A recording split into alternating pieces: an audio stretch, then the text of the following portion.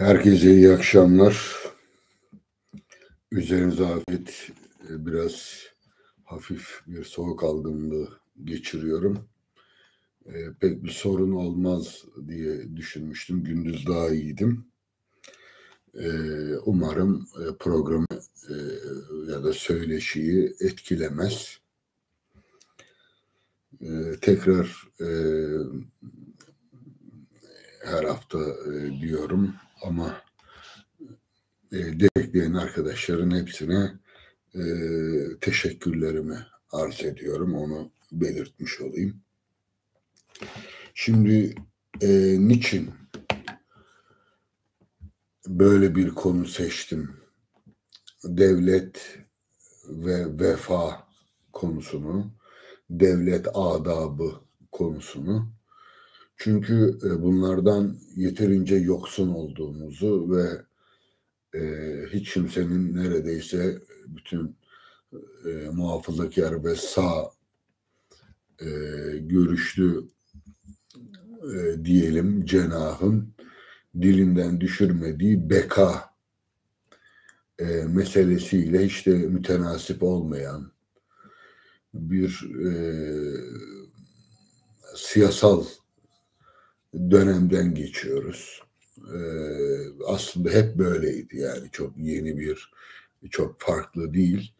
O yüzden e, bu tür analizler yani tarihsel bir e, arka plan ister e, devletten, toplumdan, bizden söz ettiğimizde o bizi hep bir geçmişle birlikte hatırlarız. O geçmiş olmazsa e, bugünü yorumlayamayız. En azından sağım bir biçimde, sağlıklı bir biçimde yorumlayamayız. O yüzden tarihe e, müracaat etmek zorundayız. Ama e, tabii tarihi malumatlar iki türlü e, tarihe müracaat ediliyor günümüzde. Bir e, yüceltmek amacıyla yani bugün e, geniş kitleleri zinde tutmak için sürekli geçmişte çok anlı şanlı bir geçmiş e, üretilir. E, devlet buna ihtiyaç duyar haklı olarak ve bu anlı şanlı geçmişle birlikte e, vatandaşlarını bir arada tutmayı ve en azından e, toplu e, bir biçimde yönetmeyi garanti altına alır. İkincisi tarih e, yine bir kesim tarafından.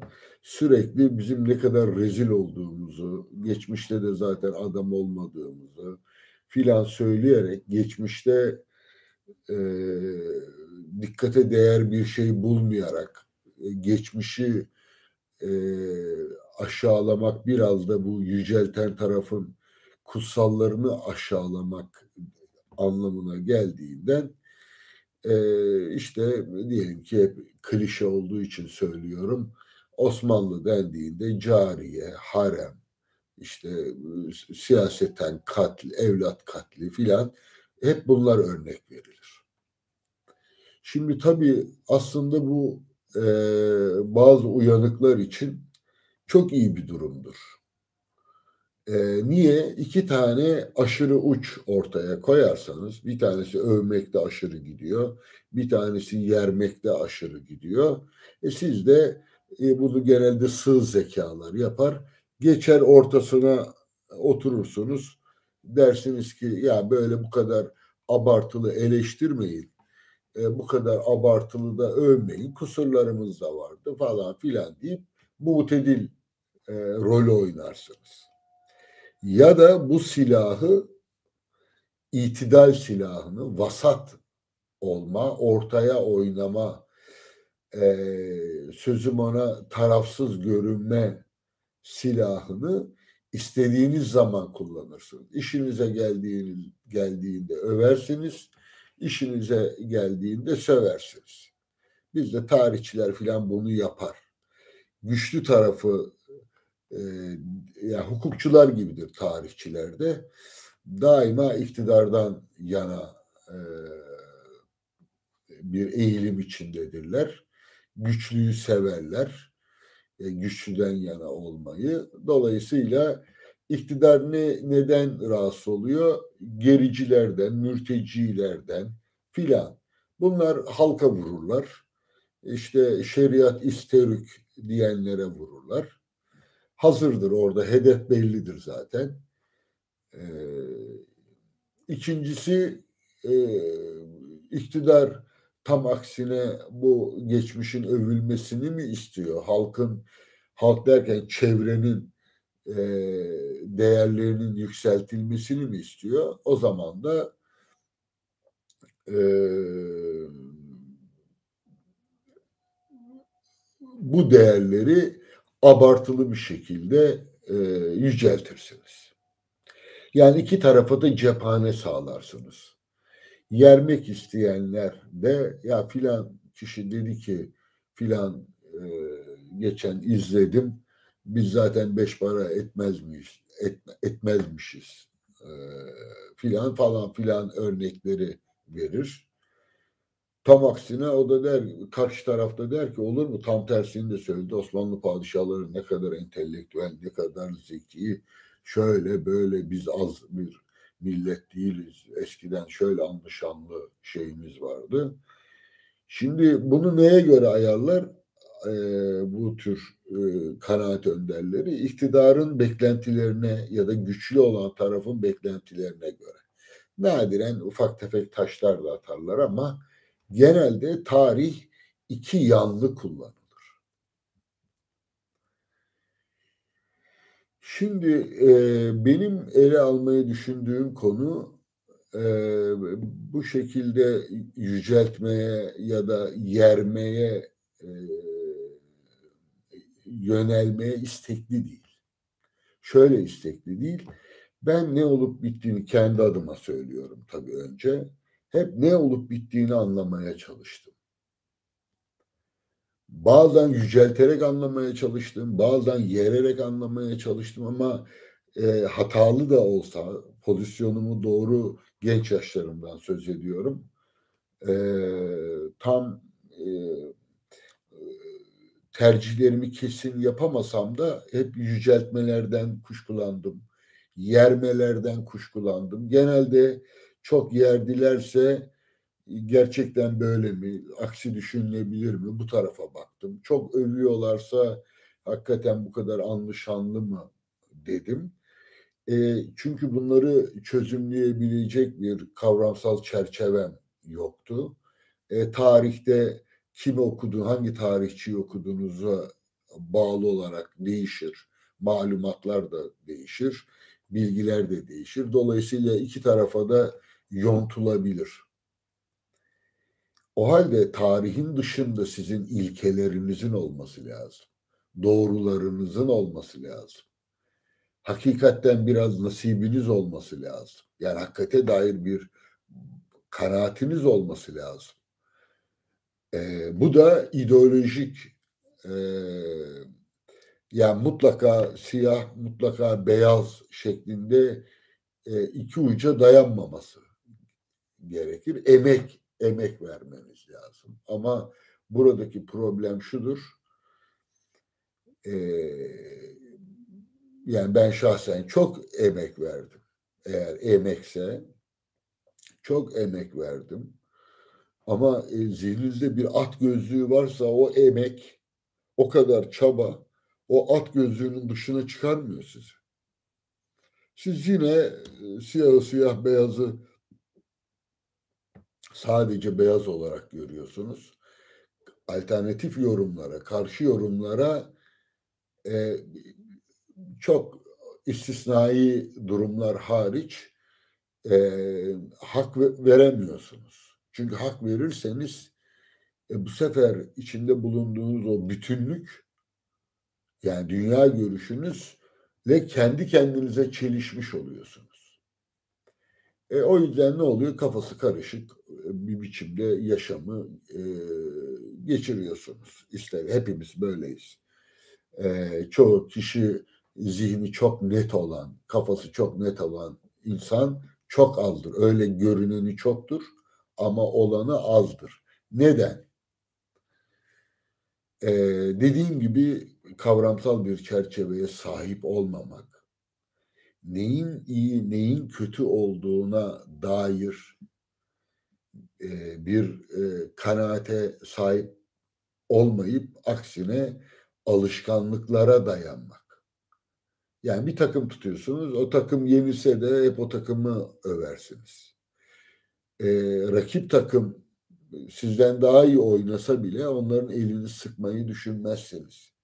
Biz iyi oynayamadık demezsiniz. E, takım tutma düzeyinde bu işler yürürse e, doğaldır. Yani burada da taraftarlar e, nihayet tuttukları şeye bir bakın. Yani niyet tara takım tutuyorlar yani. Eee, herhangi bir düşünce istemiyor. E, zaten duygusal bir bağlılık geliştiriyorsunuz. Bu bağlılık bir tür alışkanlık olarak devam ediyor ve kendinizi iyi hissediyorsunuz. Takımınız yense de yenilse de o, o takımdan ayrılmıyorsunuz. Ama yaşam böyle mi? Hepimizi ilgilen, bu sizi ilgilendirir. Yani insanın tuttuğu takım nihayet kişisel seçimleri, seçimidir. Ee, herkes Fenerbahçeli diye Fenerbahçeli olmazsınız. Belki ilk başlangıçta böyle başlar. Yakınınızda bir şey sizi etkiler. Herhangi bir takımı seçersiniz. Ama düşünce böyle bir şey mi? Analiz, yorum, e, anlama, anlamlandırma, açıklama çabası e, bir taraftar psikolojisiyle açıklanabilir mi? Dediğim gibi e, emek vermelisiniz ama be, zihninizdeki e, ne diyelim prangalar boyunduruk e, ne yaparsanız yapın size en fazla tarlayı sürmeye e, sürmenize devam edersiniz. Yani e, boyunduruk hayvanlara takılır tarla sürmek için sığırlara. Yani edebi e, şey edebe mugayir bir şey söylemediğimi düşünüyorum. Ve onlar ne yaparlarsa yapsınlar e, şeyi sabanı tutan onu götüreceği yere hayvanları götürür. E biz böyle olmadığımıza göre e, bazen ba, bazı ayrıntılarda bazen e, genel düşüncelerimizde e, devlete, e, topluma, hukuka, siyasete e, ilişkin düşüncelerimizde yeniden düşünebilme, eksiklerimizi tamamlayabilme, hatalarımızı fark ediyorsak onlardan dönüp daha doğru bir e, duruş kazanmaya çalışma e, insan olmakla alakalı. Şimdi ben tabii güncel siyaseti pek e, ciddiye almıyorum. E, yani göz ucuyla takip ediyorum. E, eskiden onu da yapmıyordum. E, 3-5 yıl öncesine kadar. E, takip ediyorum. E, fakat bir olumsuzluk var. Ülkenin içinde bulunduğu bir yangın var ve bu yangın bu 5 seneyle 10 seneyle açıklanacak bir yangın değil. Bazı olumlu şeylerin yasalar olduğu gibi olumsuz şeylerin de yasaları vardır. Depremlerin de yasası vardır. Bunun ne kadarına ulaşabiliriz? Ne kadarını olursa. Dolayısıyla çürümenin de yasası vardır. Sadece galip gelmenin değil, mağlup olmanın da yasası vardır. O yüzden biz bu yasaları önce kavramak zorundayız. Var, var mı böyle bir yasa? E, tarihe müracaat etme zorunluluğu buradan kaynaklanıyor. Geçmişe niye müracaat ediyoruz? Hep bu böyle mi oldu? Bu e, veri verileri elimizdeki e, dataları genişletmeye çalışıyoruz. Ve bunu bazı ilkelere bağlayarak yorumlayabilir miyiz acaba diyoruz.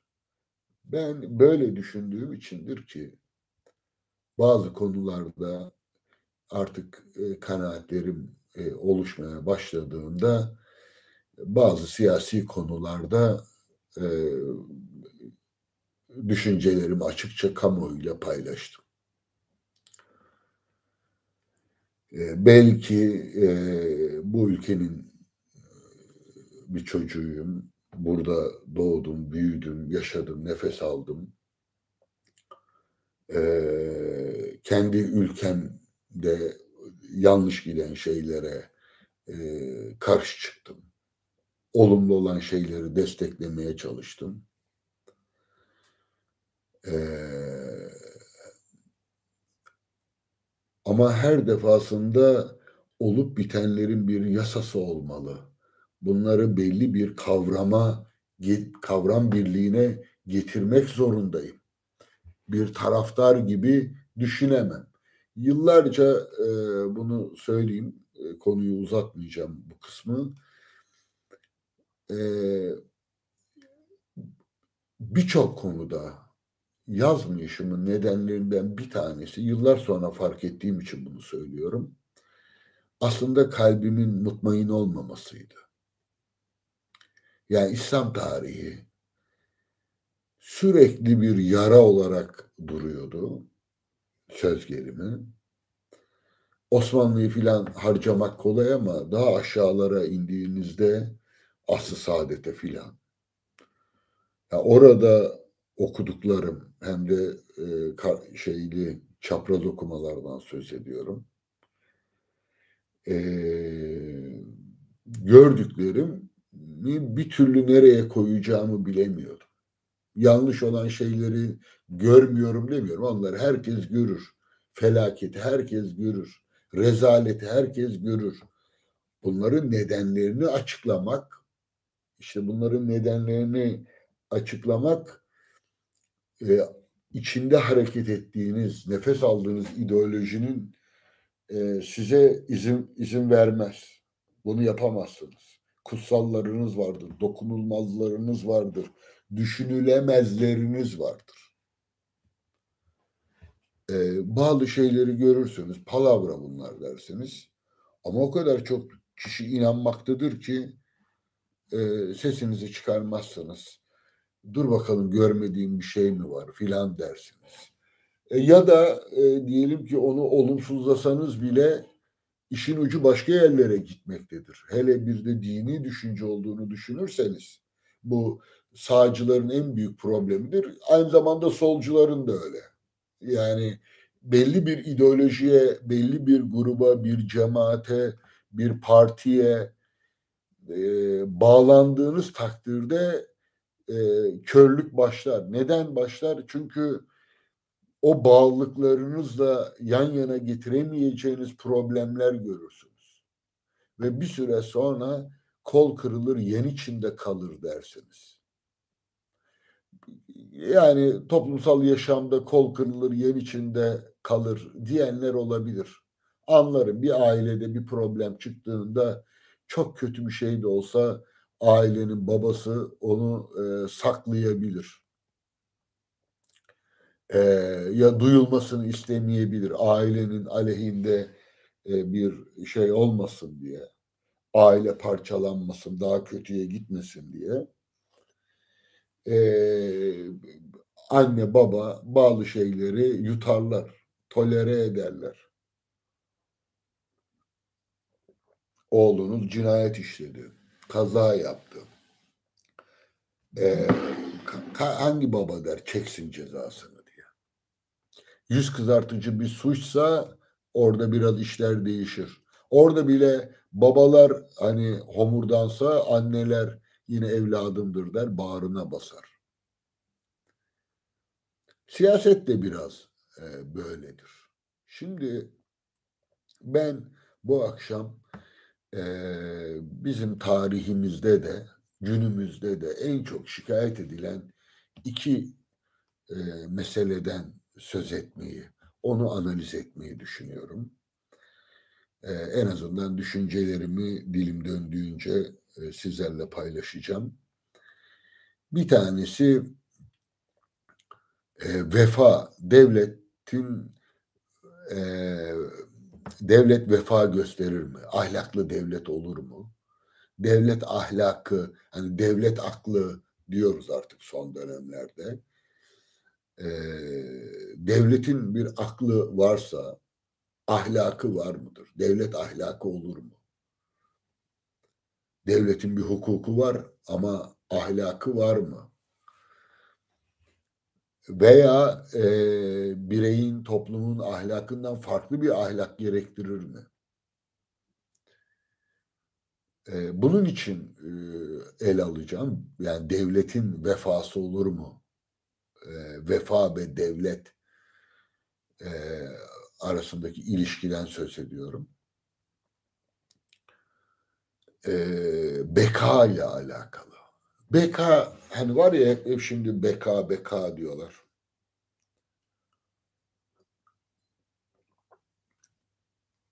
Beka ne? Kalıcılık demek.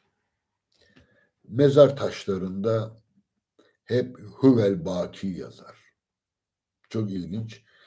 Ee, İslam düşüncesine göre beka olmaz mesela. Devlette beka, mahlukta beka aranmaz. Ee, hiç kimse buralara girmez ama huvel baki demek yalnızca Tanrı kalıcıdır. Onun dışında her şey yok olur, fanidir demektir. Oradaki beka e, kalıcılığı Tanrı'ya verir. Tanrı dışında hiçbir e, yaratılana, yaratılmış olana beka sıfatını layık görmez.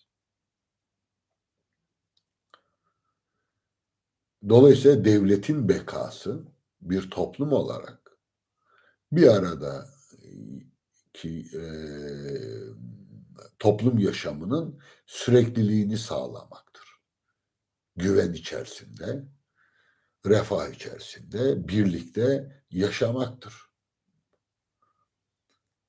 Devletin birinci vazifesi budur. Güvenlik niyedir? İşte komşu uluslar, başka uluslar bizim birliğimize zarar vermesin. Bizim refahımıza zarar vermesin anlamına gelir. O yüzden devlet e, birincil ödevi güvenliktir. Güvenliği sağlar devlet.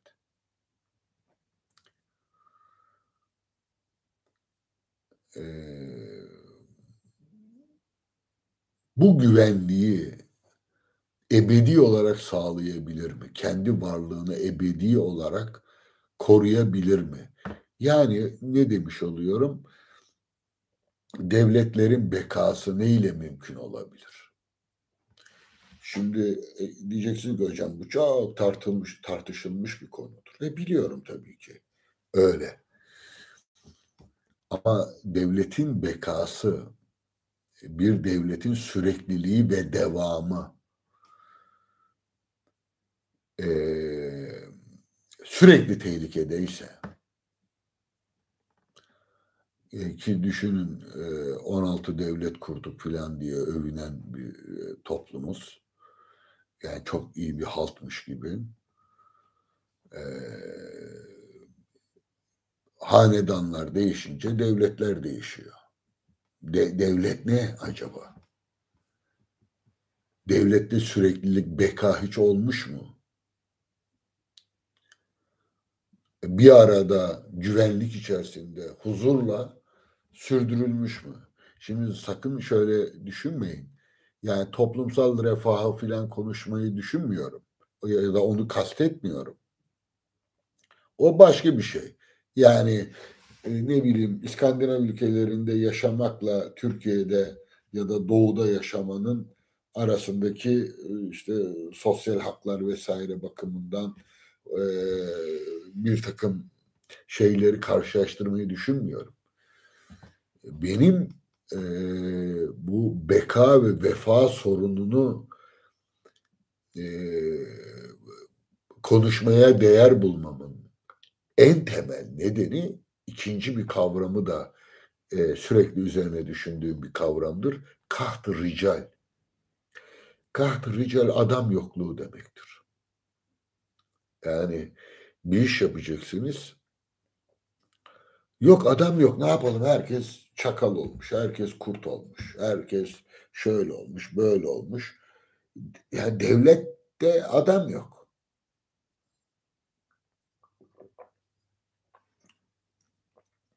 Hakikaten böyle bir şey var mıdır? Her ulusta bu kaht rical meselesi bu kadar tekrarlanıyor mudur? Yani adam yokluğu. Adam yok. Eleman yok yani. Personel yok. Şimdi kaht rical ben beni söyleşilerimi ta- takip edenler bilirler. Siyasetçiyle devlet adamı tabirlerini ayırarak kullanırım. Siyasetçileri normal e, işte bir partiye bağlı olarak e, ülkenin yönetimine e, herhangi bir kademesine bu yönetimin talip olan bu işlerle uğraşan insanları kastediyorum. Yani illa devlette görev alması gerekmez. Bir partide de görev alabilir filan. Yani siyasetçi e, vaktini bu işe ayıran, bizde e, genelde sivil e, siyasetçilerden söz edilir, askerin karşısına konumlandırarak. E, bu bir bu politikacı deniyor bunlara. E, ben e, siyasetçi, politikacıyı bir kenara koyuyorum. Bunlardan çoktur hiç kuşkusuz. Her, her toplumda böyledir. Bir de devlet adamı tabirini şöyle ayır, ayırt ediyorum. Diyorum ki e, siyasetçi e, toplumun ve devletin günlük ihtiyaçlarıyla, güncel ihtiyaçlarıyla meşgul olan adamdır. Ya bu zamlar nereden geliyor? Ne olacak bu memleketin hali? dendiğinde işte buna yönelik çözümler üreten, karşı tarafı, muhalefetteyse iktidarı, iktidardaysa muhalefeti suçlayan ya da hiç iktidar ve muhalefet yüzü bile görmeden yıllarca siyaset yapan aktörler var malum. Bunlara siyasetçi diyoruz. Her toplumda vardır. Ee, bence hiçbir mahsuru yok. Ee, fakat devlet adamı e, devletin böyle gündelik işte iktidar muhalefet geldik gittik şöyle oldu böyle oldu gibi güncel e, gündemini ya da güncel sorunlarını e, ile ilgilenen adam değil. Devletin daha geniş erimli daha uzun soluklu olarak daha adil, daha ussal, daha yetkin, daha sürekli hale gelmesi için düşünen, bunun için çaba sarf eden, e, deneyimle zekayı birleştirmiş, deneyimsiz zekadan devlet adamı olmaz. Bunun en e, açık örneğini AK Parti iktidara geldiği yıllarda gördük e, özellikle dış işlerinde e, bir insanın hırsı ve zekasıyla deneyimi e, birbirini dengelemeli. E, 20 yıl evvel geldiklerinde hepsi deneyimsizdi. Ya da işlerinde en fazla oraya gelebilecek kadar deneyimliydiler. Öyle söyleyeyim. Ama devletin uzun erimli, geniş erimli sorunları üzerine bir e, iş yapmayı bir kenara koyun. E, bu konuların nele, ne olduğunu anlayıp yorumlayabilecek e, kavrayış düzeyinden de uzaktalar. E, daha evvel farklı mıydı?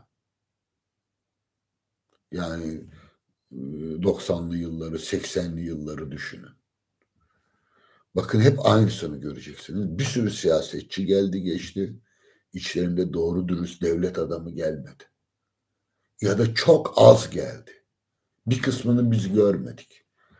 O yüzden e, vefa konusuyla e, bekayı konuşabilmek için vefayı e, konuşmayı önemsememin bu.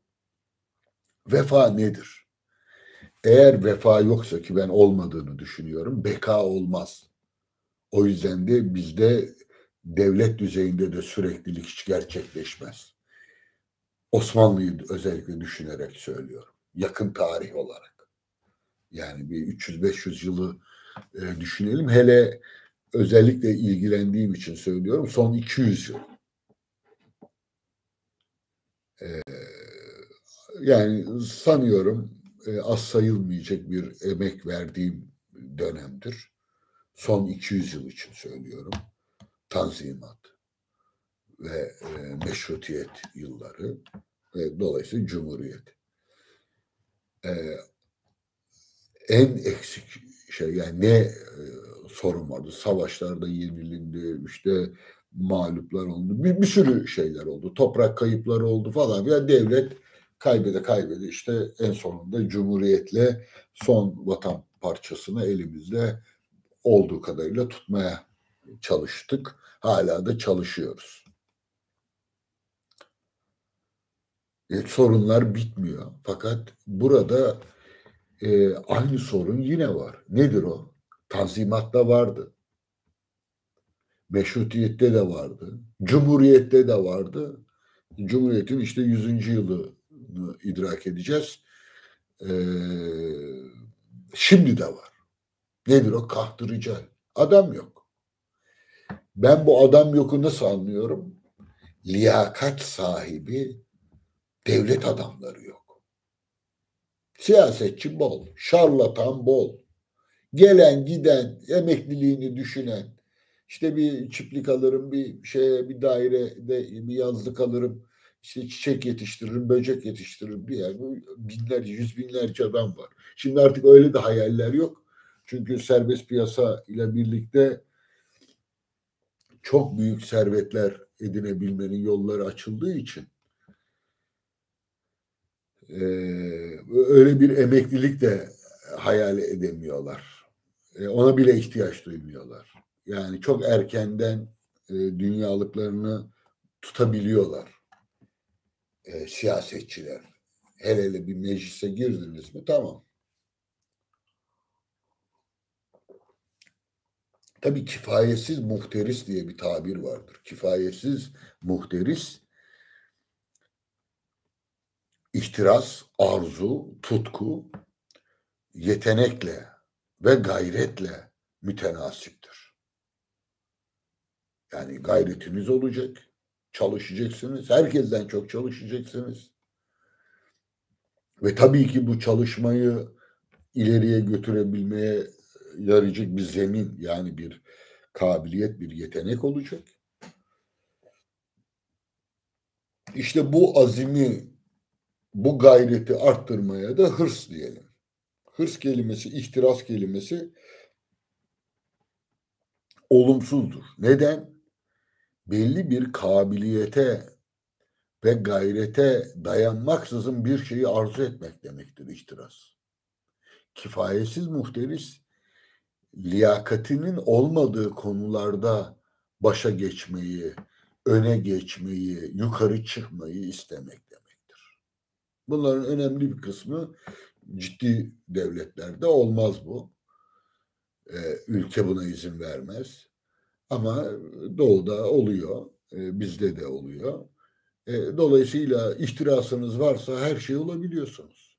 Dünyanın en yeteneksiz, en e, aptal adamı da olsanız, en görgüsüz adamı da olsanız, ihtirasınız varsa, hele bu ihtiras bir ideolojiyle birleşip dava mava laflarıyla birleşirse, kişisel ihtiraslarınız, yolunuz açık. Bunu engelleyebilecek olan tek şey liyakat. Dolayısıyla e, zannediyorum bu girizgahla e, düşüncemin etrafında dolaşacağı kavramları açıklamış oldum. E, kalıcılık nasıl mümkün olabilir? Vefayla mümkün olabilir. Devletin vefasından, devlete vefadan söz etmiyorum. Devlet herkes vefa askere gidiyor, vergisini veriyor filan. Sadakatten söz etmiyorum. Vefadan söz ediyorum. Devlet ahde vefa gösterir mi? ahdine vefa gösteriyor mu? Bunu nasıl ölçümleyebiliriz? İkincisi liyakatli yani hem kabiliyetli hem gayretli devletin temel meseleleri üzerine kafa yoran e, insan sayısı niye bu kadar az? Ya bir bakın ya milli eğitim meselesine. Hukuka bir bakın. Hangi kurumun saygınlığı kaldı? Bu öyle dünün bugünün meselesi değil ki. Yani cumhuriyetin meselesi, meşrutiyetin meselesi, tanzimatın meselesi.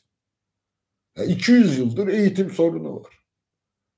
Yani çocuklarımızı nasıl eğiteceğimiz konusunda e, aklı başında kendi içinde yaşadığımız çağla e, dengelenebilecek bir e, eğitim sistemi kuramadık. Yani halkı kötüle, devleti kötüle o böyle olmaz. Ama eğitim sorununu çözememiş bir devletten söz ediyoruz. Bu bir. İkincisi eğitim sorununu çözemediği için liyakat sorununu çözemiyor. Bakın doktorlara reva görülen şeyleri. Vicdanınız alıyor mu? Aklınız alıyor mu? Yani doktor olmayı kolay zannediyor millet. Yani ilkokulu bitiremiyor adam, ortaokulu bitiremiyor. Ee, beş bar etmez bir fakülteden zor bela mezun oluyor en zekisi. Ee, oradaki şeye doktora e, doktorlara demediklerini bırakmıyorlar. Yani düşünün ülkenin bütün büyük şeylerde doktorlar hekimler yani ve hukukçular e, bunlar saygın mesleklerdi. Eskiden akademi, profesörlük de öyleydi. Şimdi öyle değil ki. Yani bizde ehliyet değerli bir şey midir ehliyet almak? Değildir. Bakkaldan sigara alır gibi alırsınız. E, elde etmesi zor olsa değerli olur.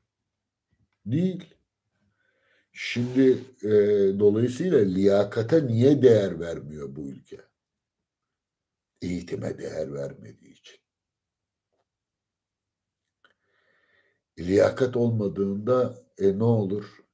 Kifayetsiz muhterisler, eğitimsiz, yeteneksiz, beş para etmez adamlar şeyin devletin e, bütün merdivenli basamaklarından çıkarlar. Yani bir Adalet Partisi'nin milletvekillerine, bakanlarına bir bakın. Saygı duyabileceğiniz kaç kişi hatırlıyorsunuz? Yani partilere bir bakın. Bakanlarına, milletvekillerinin konuşmalarına, usluplarına bir bakın. Devlet adamı niteliği var mı? Ya parti liderlerinde yok ya bir kısmında. Devlet adamı ciddiyeti yok dernek başkanı olabilir. Hani biraz da genç filan olursa. Bir ağırlığı olması lazım değil mi? Bir ciddiyeti olması lazım. Neden, neden söz ediyorum? Bir haysiyeti, kendine bir saygısı olması lazım. Değerli olanı tanıması ve ona saygı göstermesi lazım. E, eğitim e, sorununu çözemediğimiz için e, korkmadığımız, canını okuyabileceğimiz her mesleğin mensubuna her türlü haksızlığı yaparız biz. Savcılara, şeylere yapamıyorduk. Niye? İstersen yap. Hukuk karşına dikilir. Ertesi gün celbi alırsın. Polise, askere ağzını açamazsın. Ellerinde silahı var, kılıcı var gözüne hangisini kestiriyorsan ona ona saldırabilirsin. Şimdi bu e, liyakat meselesinin bu kaht ricalle alakalı olarak sadakete bağlanması hep böyleydi demek istiyorum. Yani bizde eskiden liyakat vardı şimdi yok diye düşünürseniz yanılmış olursunuz. O yüzden tarihi, özellikle yakın tarihi lütfen dikkatle okuyunuz. e, sadrazamlığa gelen adamlar bile liyakatle gelmiyorlar. Yani Şeyhülislamlığa gelen adamlar çok alim olduğu için Şeyhülislam olmuyor ki. Şimdi Diyanet İşleri Başkanı olmak, o, o, o Diyanet İşleri Başkanı olmak için gerekli ilme e, sahip olmayı gerektiriyor mu? Bir bilimsel saygınlığı var mıdır? Diyanet İşleri Başkanlığı'nın e, toplum nezdinde bir itibarı var mıdır? Yoktur. Herkes olabilir. Bir memur atıyorlar oraya. Hele şimdi son dönemde iyice cılkı çıktı. Asker önce bunu yaptı. Yani şimdi isim vermeyeyim ama ne Diyanet İşleri Başkanlığı başkanları gördük.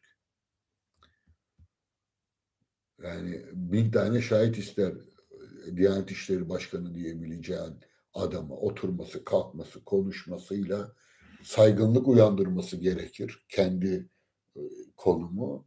Hayır. Eskiden askerde bu çok daha şey görünürdü. Çünkü askerde yukarı çıkmak zordu. Darmadağın ettiler. Liyakate gerek yok. Büyük becerilere gerek yok. Hele işin içine siyaset girerse askerde ideoloji bu çok kolay. Rakiplerinizi karşı tarafa e, atfederek onlardan kurtulursunuz. Yani askeri o yüzden entrikalar, ayak oyunları falan filan her yerde dolu. E bunun önünü kesebilecek bir liyakat yok çünkü yukarıda. Neyi kastediyorum? Devlet erkanı. Devlet erkanı ne demek? Devleti ayakta tutan bürokrasiden söz ediyorum. Dışişleri böyleydi mesela. Yani dışişleri deyip geçmeyeceksiniz. 20 yıldan e, darmadağın ettiler. E, eskiden çok mu iyiydi? Eskiden başka sorunlar vardı. Yani bu sorunlar hiç devam şey yapmıyor. E, ortadan kalkmıyor. Ama neticede bir liyakatsizlik var. Liyakatin yerini sadakat almış durumda. Bu ne demek? Kifayetsiz muhterislerin sayısının artması demek. Ve dolayısıyla devlet esas tabii bunların bütün tamamına yol açan şey benim kanaatim devletin vefasızlığıdır. Devletin vefasızlığından ne kastediyorum? Şimdi size bir iki not aldım. Çok eskiden beri bilirim. Ee, 10. 11. yüzyıla kadar gidiyor. Ee, isim vereyim. Ee, İbn Miskevey. 13. yüzyıldan Nasruddin Tusi, 15. yüzyıldan Devvani, 16. yüzyıldan sadece buradan e, vereceğim. Kınalızade. Kınalızade çok ilginç bir tabir kullanır ve bu tabir Kınalızade orijinal bir metin değildir.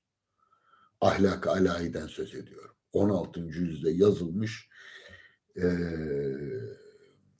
çok okunan metinlerdendir ama şimdiki nesillerin anlama şansı yok. Yani akademisyenlerin bile öyle benim diyen akademisyen e, Arapça Arapça istediği kadar bilsin normal e, ibarelerini çözmesi çok zordur.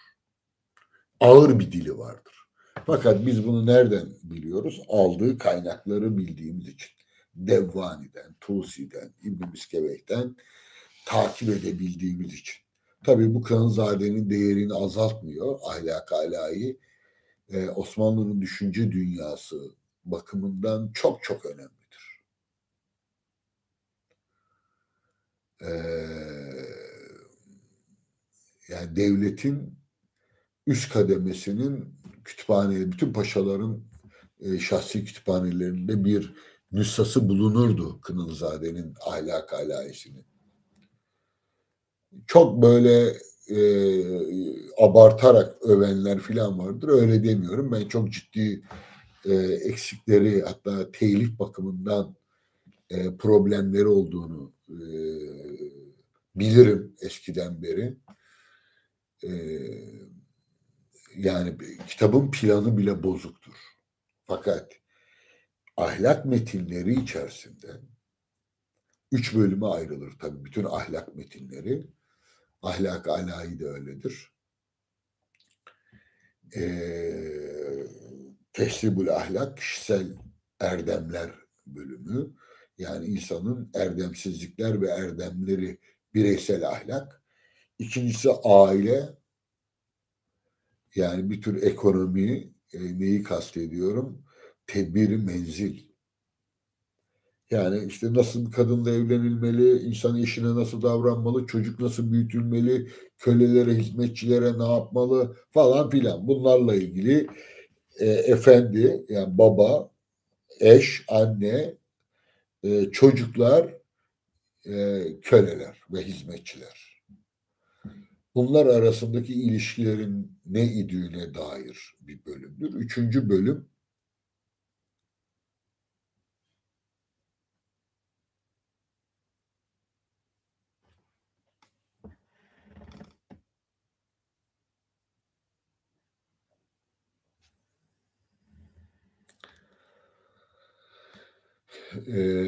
üçüncü bölüm ise devlet yönetimiyle alakalıdır. Siyasetin siyaseti medeniye denir. Dolayısıyla Kınalızade'nin ahlak alayisi bu üç bölümde e, Osmanlıca Türkçesiyle en azından Türkçe yazılmış en önemli e, metinlerin belki de başında gelir. 16. yüzyılda heybetli bir yüzyıldır biliyorsunuz. Şimdi oradan bir bölüm okuyacağım. Ama bu bölüm Devvani'de var. Kanızade'nin en büyük kaynaklarından. Tusi'de var. İbn Miskeveh'te de var. Sadece İbn Miskeveh'te Türk tabiri yerine köleler, Türkler demiyor, köleler diyor. İbare şu. Türklerden söz ederken Kınalzade çok ilginç. 16. yüzyılda Osmanlı Devleti'nin e, yönetenlerinin yani en azından e, entelektüel kapasitesi olan devlet erkanının elinden düşürmediği bir kitaptan söz ediyorum. Araplardan, Hintlilerden, İranlılardan, Rumlardan, e, Kürtlerden, Türklerden e, Gürcülerden, Çerkezlerden, Arnavutlardan filan söz eden bir bölüm vardır. Bura şey der, e, tam tabirini söyleyeyim size, ihtilafu e, hasayısı ecnas. İhtilafatı veya ihtilafı hasayısı ecnas demek şu demek. Irkların e, kendilerine özgü niteliklerinin farklı nitelikleri. Ya Rumların e, Rum derken Yunan'ı ve Bizans'ı filan da düşüneceksiniz. E, Rumların e, şeyi nedir? Hasayısı e, nelerden ibarettir? Arapların nelerden? Tabii en başa Arapları koyuyor, övüyor, övüyor, bitiremiyor. E, İranlıları koyuyor, Rumları koyuyor. Sonra Türklerle ilgili bir bölüm var. E, sadece şunu söylemem lazım.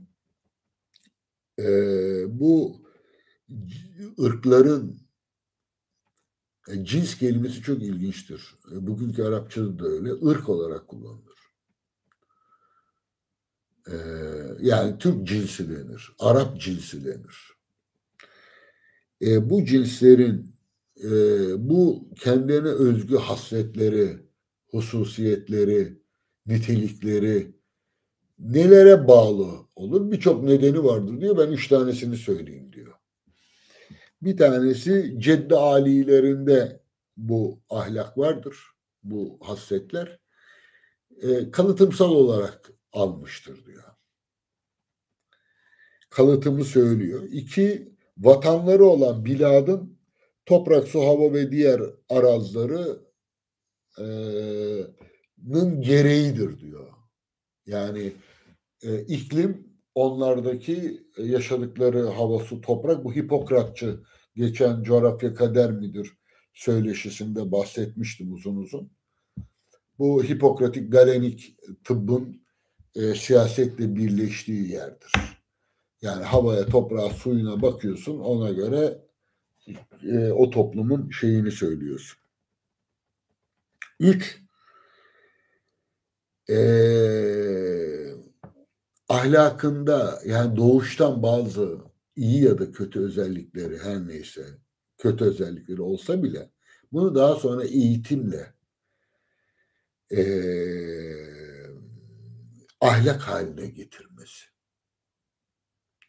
Yani aslında eskiden şöyleydi ya da o falan bölgedeki insanlar böyledir ama bunlar biraz eğitimli olduğu için eğitim yoluyla kendilerini e, yeni bir ahlak, ikinci bir ahlak, ikinci bir doğa yaratmayı başarmışlardır diyor. Türklerle ilgili kısımda ise şöyle söylüyor. Türklerin hulklarında, yaratılışlarında gadru, bi vefalık ve kasaveti kılleti rahmet zahirdir. Bu Tusi'de de var. Devani'de de var. E, Miskebe'ye kadar gider. Yani Türklerin doğasında, yaratılışında vefasızlık vardır diyor. Çok ilginç bir tabir. Bir gadr vardır. Acımasız bir şey. Kasabet vardır. Ve az merhametlidirler diyor. Tabii kastettiği kim? Türkler ve bir kolu Moğollar diyor. Şimdi Türklerle Moğolları birbirinden ayırt etmeye çalışıyorlar. E, oysa bunu e, kuzey halkları, Kafkas halkları olarak yorumlamak icap eder. Türk dediğimiz bugün anladığımız anlamdaki Türk'ten ibaret değil. E, çünkü anla, e, tarif ediyor. Türk kimdir diyor. Okusam size şey e, burunları basık, gözleri çekik, kısa boylu falan diye Çinli tarif eder gibi bizim e,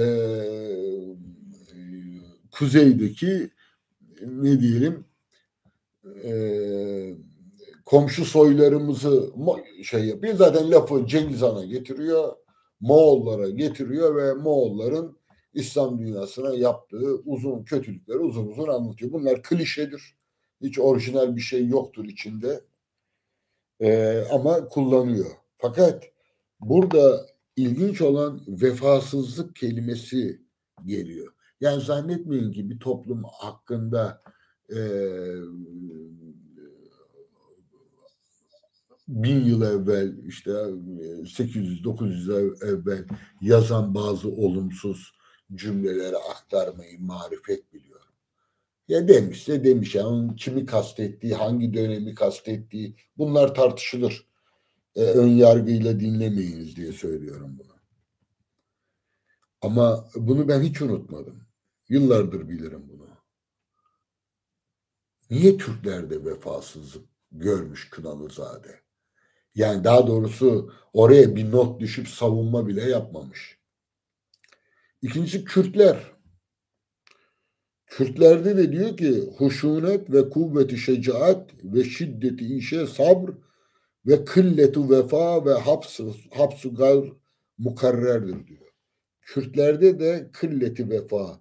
Vefasız demiyor. Türklere vefasızdır diyor. Kürtlere az vefalıdır diyor. Çok vefa etmezler. Buna karşılık Rumlara aynen kullandığı tabir Rumlar ehli Rum vefa vü emanet ve sayü kifayetle mesmurdur.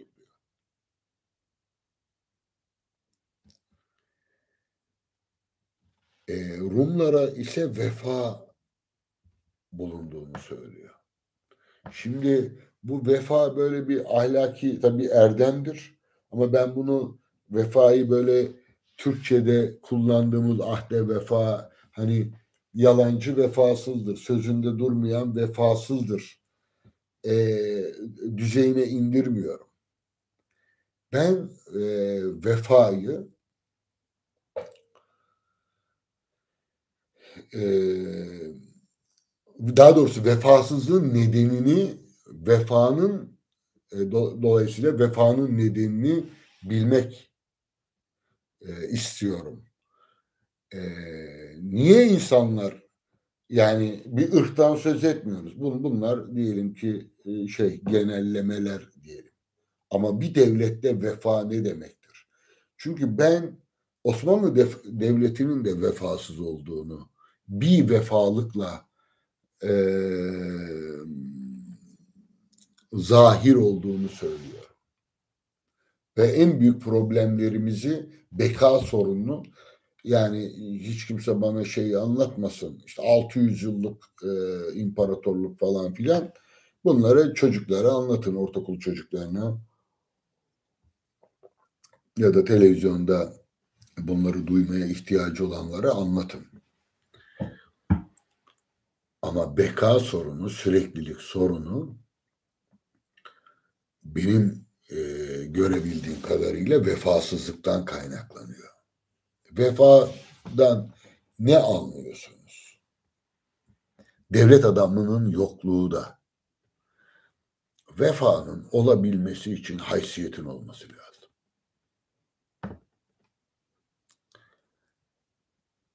Haysiyetten ka kastettiğim bir toplumun üyelerinin öyle olmaktan utanam utanmayacağı, kendine özgü niteliklerini, özelliklerini, düşüncelerini söylediği, ifade ettiği için canına okunmaması anlamında e, devletin güvencesi olarak anlıyorum. Şimdi bunu halka verilen bir güvence olarak demiyorum. Yöneticilerin yöneticilere vefasından söz ediyorum. Yani devletin vefasını halka olan vefayla karıştırmıyorum. Hani derler ya hiçbir kral halkına ihanet etmez.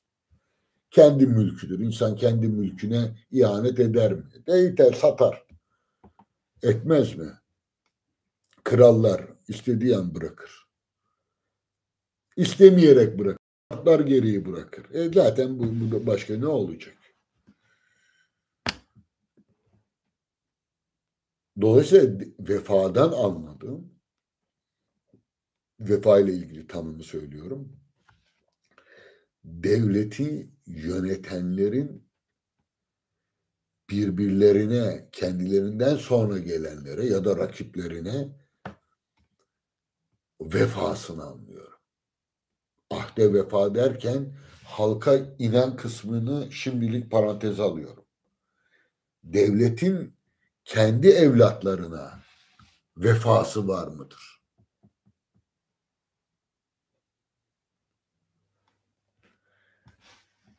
Bugün yok. Niye yok?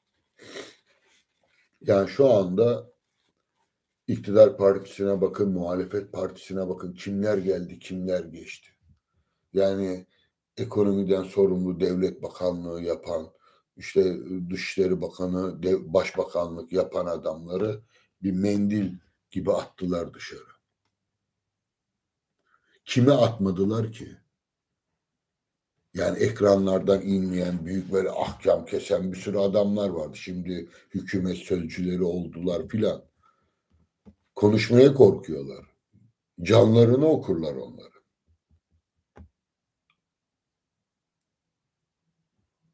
Konuşmalarına izin verilenlerin gücünü gücü olmadığına inandıkları için izin veriyorlar.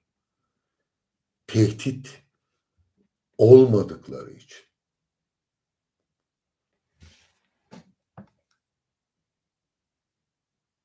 Peki e, buradaki vefayı dava arkadaşının dava arkadaşına vefası olarak görmüyorum.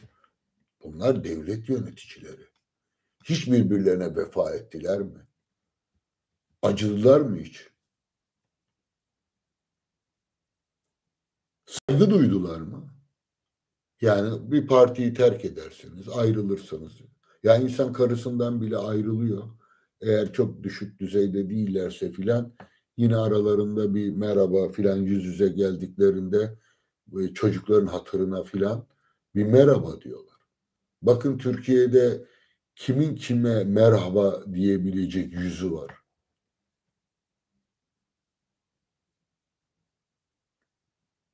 Yok. Bu parti içindeki muhalifleri için de geçerli.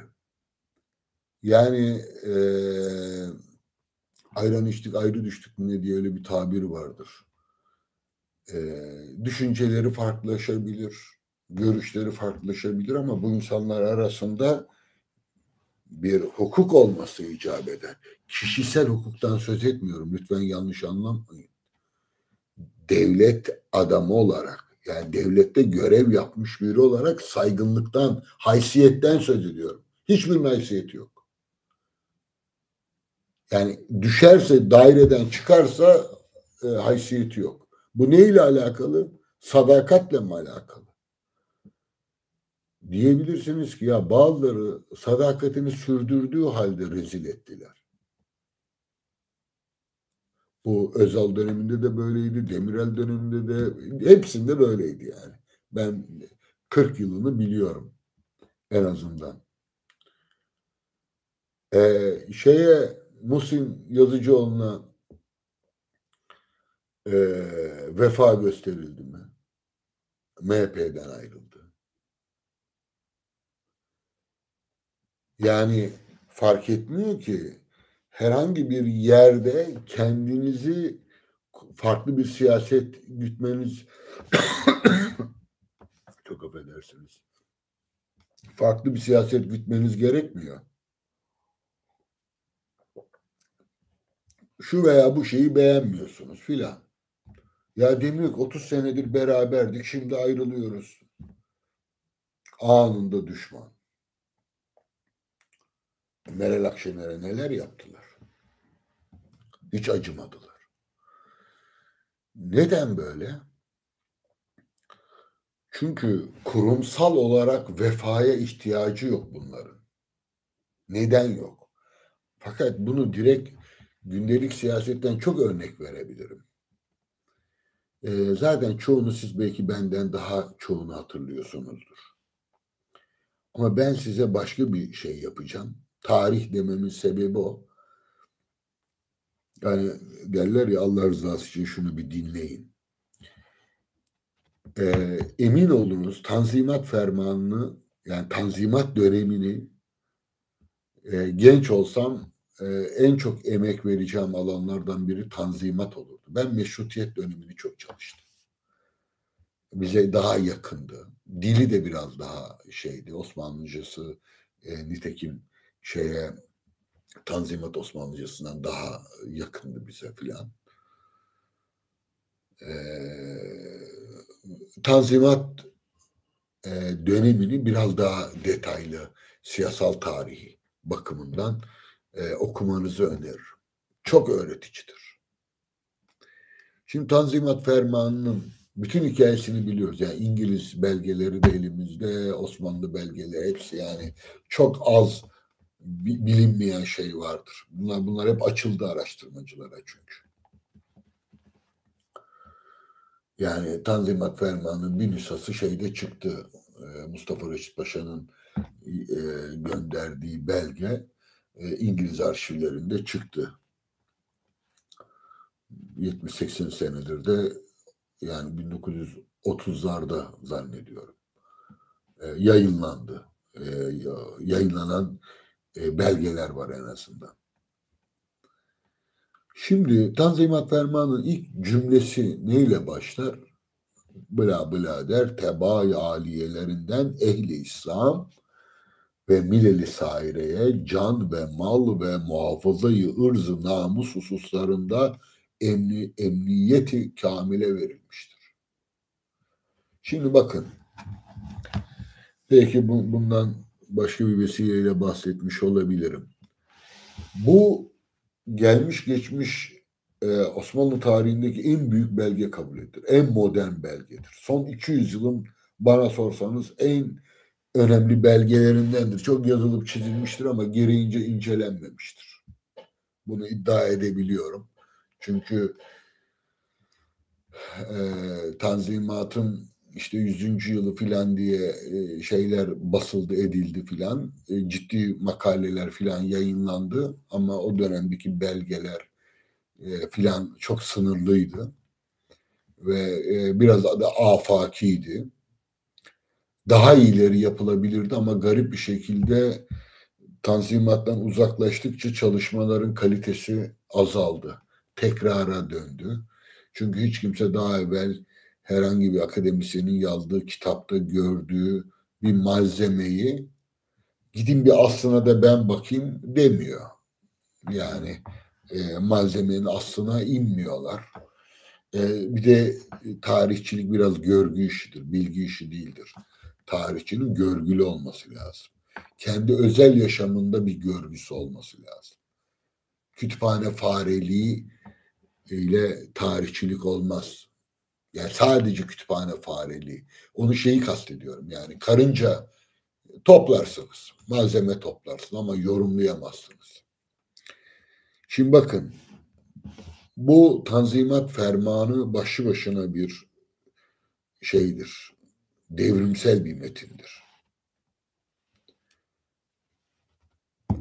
En niyeti kamile yani Müslüm gayrimüslim. Önemli olan bu. Mileli saire. Müslim gayrimüslim. Herkese e, emniyeti kamile bahşediyor padişah. O zaman padişah çocuk yaşta. Bunu Mustafa Reşit Paşa yazıyor. En başa aldığı problemleri söylüyorum. Yıl kaç? 1839. Can, mal ve muhafazayı ırzı namus. Şimdi Osmanlı'da can güvenliği yoktu. Diyeceksiniz ki nasıl yoktu? Halktakini saymıyorum. Aşağıdakiler zaten istediğini istediğini yapıyorlardı da o önemli değil. Devletin en üst düzeyindeki bürokratların hiçbir e, şeyi yoktu. İkinci Mahmut vesaire en ufacık kızıyor, boğduruyor. Kızıyor bir yani Rusya'ya savaş açalım mı açmayalım. Efendim açmayalım diyor bir tanesi. Vay sen böyle dedin. Tak adam önce Edirne'yi sürdürüyor. Ondan sonra orada boğduruyor. İşte Mustafa Reşit Paşa'nın şeyi yanlış hatırlamıyorsam Pertev Paşa. Ee, gönderiyor Fizan'a. Zaten öldürdü mü padişahın kesin dediğine kimse hayır diyemez ki. Şimdi can güvenliği yok. Bakın bunu vefa ile nasıl bağlayacağım? Yani canına vefa etmeli devlet. Yani 30 yıl sana hizmet etmiş. Hiçbir kusuru yok.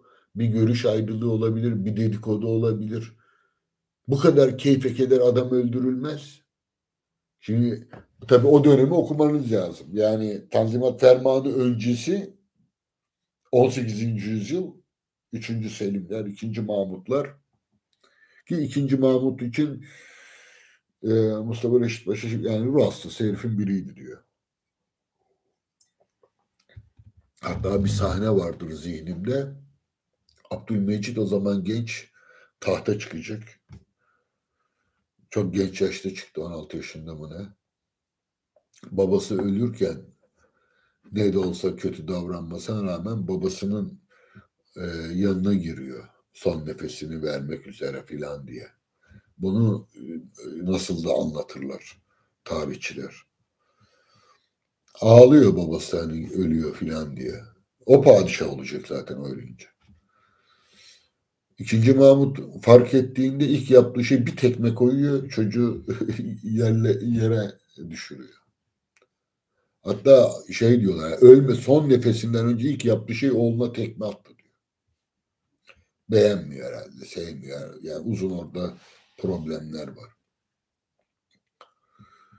Şimdi e, devletin işte padişahtan e, söz ederken iş kolay değil. Yasadan söz edemiyorsun.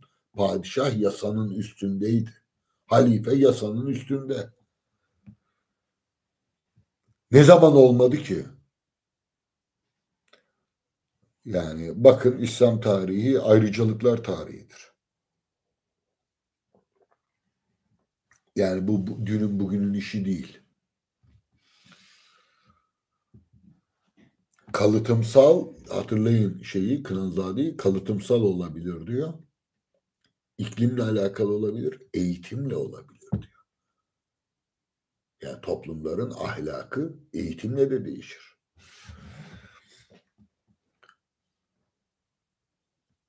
Ee, can güvenliği yoktu.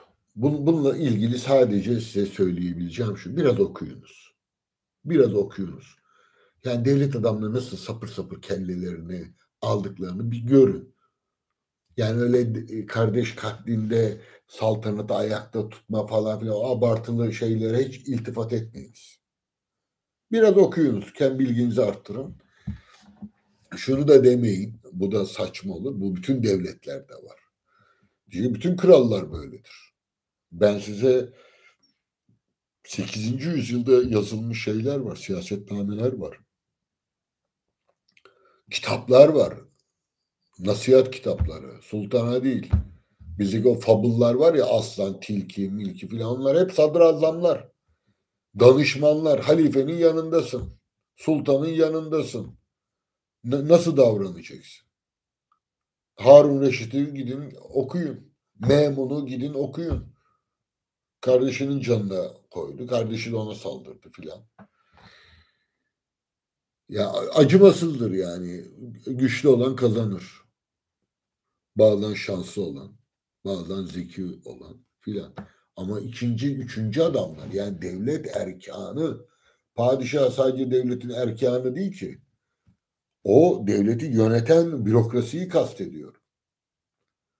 Bürokrasinin can güvenliği var mıydı? Yoktu.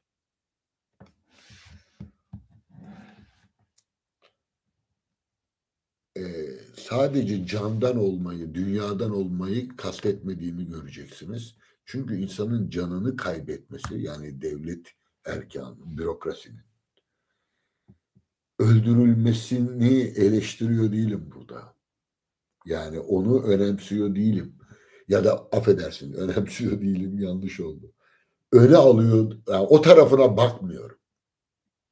Baktığım taraf öldürülme korkusu. Ölmek değil. Öl ölüyorsa ölüyor zaten. Öldürülme korkusu. Şimdi bunun bunun sonucu ne? Şimdi bakın ikinciye bakıyoruz. Yani bunu ezbere söylemiyorum. Tanzimattan, Tanzimat metni, onun e, hazırlık metinleri, önceki metinleri filan var. E, notları hızlıca aldım. Birbirini teyit eden metinler. Can ve mal. Mal güvenliği yok. Bakın bu çok önemli. Vezirsin, paşasın, yıllarca devlete hizmet etmişsin, padişaha hizmet etmişsin, sadakatinde hiçbir problem yok. Sadece rekabetler olur paşalar arasında bilmem ne filan memurlar arasında. Bir anda ayağını kaldırır, kaydırırlar ne kadar hizmet etmiş, ne kadar yıllarca padişaha kulluk, kölelik yapmışsan yap. Sadece seni öldürmekle kalmıyorlar. Bütün mallarına el koyuyorlar. Bu ne demek biliyor musun? Çoluğunu çocuğunu aç bırakıyorlar.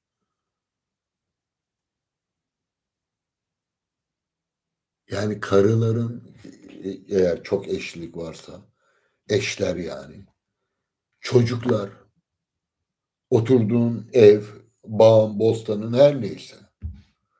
Anında hepsine el koyuyorlar. Mal güvenliği yok. Şimdi bakın burada önemli olan ikinci şeyi söylüyorum. Malı kaybetmek önemli değil. Zaten onlar hepsi rüşvetle alıyorlar. Helal olarak almıyorlar. Şimdikiler nasıl bu kadar serveti nereden alabilirler yani? Akıl al, alıyor mu? Ee, malı kaybetme korkusu. Ya e, bir şeyin olmasından daha beterdir. Ölüm değildir ki insanın canını acıtan. Ölüm korkusudur. Mal değildir. Mal korkusudur. Hatta derim yaşlılık değildir. Yaşlılık korkusudur. Her an sıfıra inebilirsin. Şimdi devam ediyorum. Muhafazayı, ırz ve namus. Ulan arkadaş bazıları bunu anayasa diyorlar ya. İlk anayasamız filan diye. Şimdi 1839 hesap edebiliyorsunuz değil mi? İki asır yakın. Can güvenliği, mal güvenliği, ırz ve namusun muhafazası, ırz ve namus güvenliği. Padişahın ilk tebasına ihsan ettiği şey bu. Mustafa Reşit Paşa bunun arkasında çok uzun, sırf bu metni e, şerh etmek isterim. Çok e, yani arka planı çok şey heyecan verici bir metindir. Üşenmeyin gidin internette filan bulursunuz. Düzgün bir Türkçe ile yazılmış olanı varsa öyle okuyun. Aslında okumanız tabii daha önemli. Daha sağlıklı olur manasında. Şimdi Kanik'le konuşuyor. Kanik diyor ki ya Mustafa Reşit Paşa diyor ırz deyince diyor ne alakası var dedim diyor ya ırz namus. Yani Osmanlı'da kadınların, madınların ne bileyim insanların ırzına, namusuna anayasada yer vermeye gerek yok ki zaten hatta e, bazı tarihçiler o dönemin tarihçileri Abdurrahman Şeref filan saçmadır bu diyor. Zaten bizde diyor Müslümanlıkta ırza göz dikemezsin ya. Onlar zaten muhafaza altında. Niye ayrıyeten bunu yeni bir şey vaat ediyormuş gibi vaat ediyor? Sonra anladım diyor şeyin Mustafa Reşit Paşa'nın dediğini yani soruyor kendisine o da izah ediyor. Kastettiği sürgünler ve aziller görevden almalar. Bak emniyete bakın. Emniyette bilmem ne müdür olun. Ertesi gün tak indirirler. Ee, işte falan e, e, şeyde birimde görevlisini üç gün sonra sizi şey trafikte şey nöbet tuttururlar.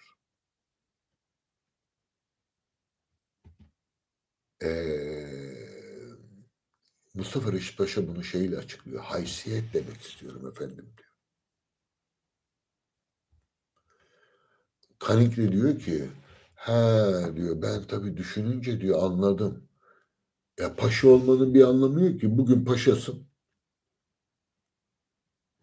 Şeyi düşünsenize başbakanlıktan alıp nasıl istifaya zorladılar. Pelikan Melikan hikayeleriyle. Hiç demediler ki ya bu o da hala şişiniyor, mişiniyor. Kibirden dünyayı gördüğü yok e, dava arkadaşlığı falan filan hiç gözünün yaşına bakmadılar. Hiçbir saygınlığı kalmadı.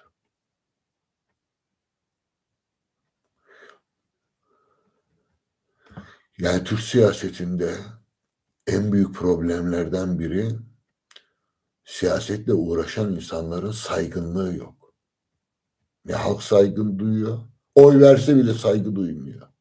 Ya korkuyor ya ciddiye almıyor. Ya Cumhurbaşkanı adayı diye şimdi yine isim vermeyeyim. Ortaya çıkan adamlara bir bakın bir Türkçesine oturmasına, kalkmasına, konuşmasına. Siyasetçi. Ama devlet başka bir şey. Neyi kastediyorum devlet derken? Devletin meseleleri günübirlik siyasi çekişmelerle e,